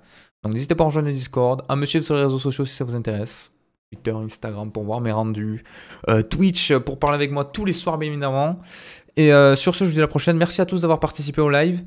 Euh, merci, à, merci aux donateurs, donc merci à Weldrid et également et à Denis. Merci beaucoup pour vos donations, ça me fait très plaisir. J'espère que ça vous aura plu, que vous avez appris des choses, c'est essentiel. Et peut-être être cyclique, oui, il suffit que tu rajoutes un objet cylindrique et ça va être basé sur ça. Si on peut activer pour, pour changer d'interface, exactement. Et sur ce, je vous dis à la prochaine, je vais mettre la rediffusion juste après, là, d'ici 10 minutes, le temps que je paramètre, tout, parce qu'il y a pas mal de trucs à faire. Et je vous souhaite une bonne soirée, à la prochaine. Allez, ciao ciao. À plus. Ciao ciao, merci à tous.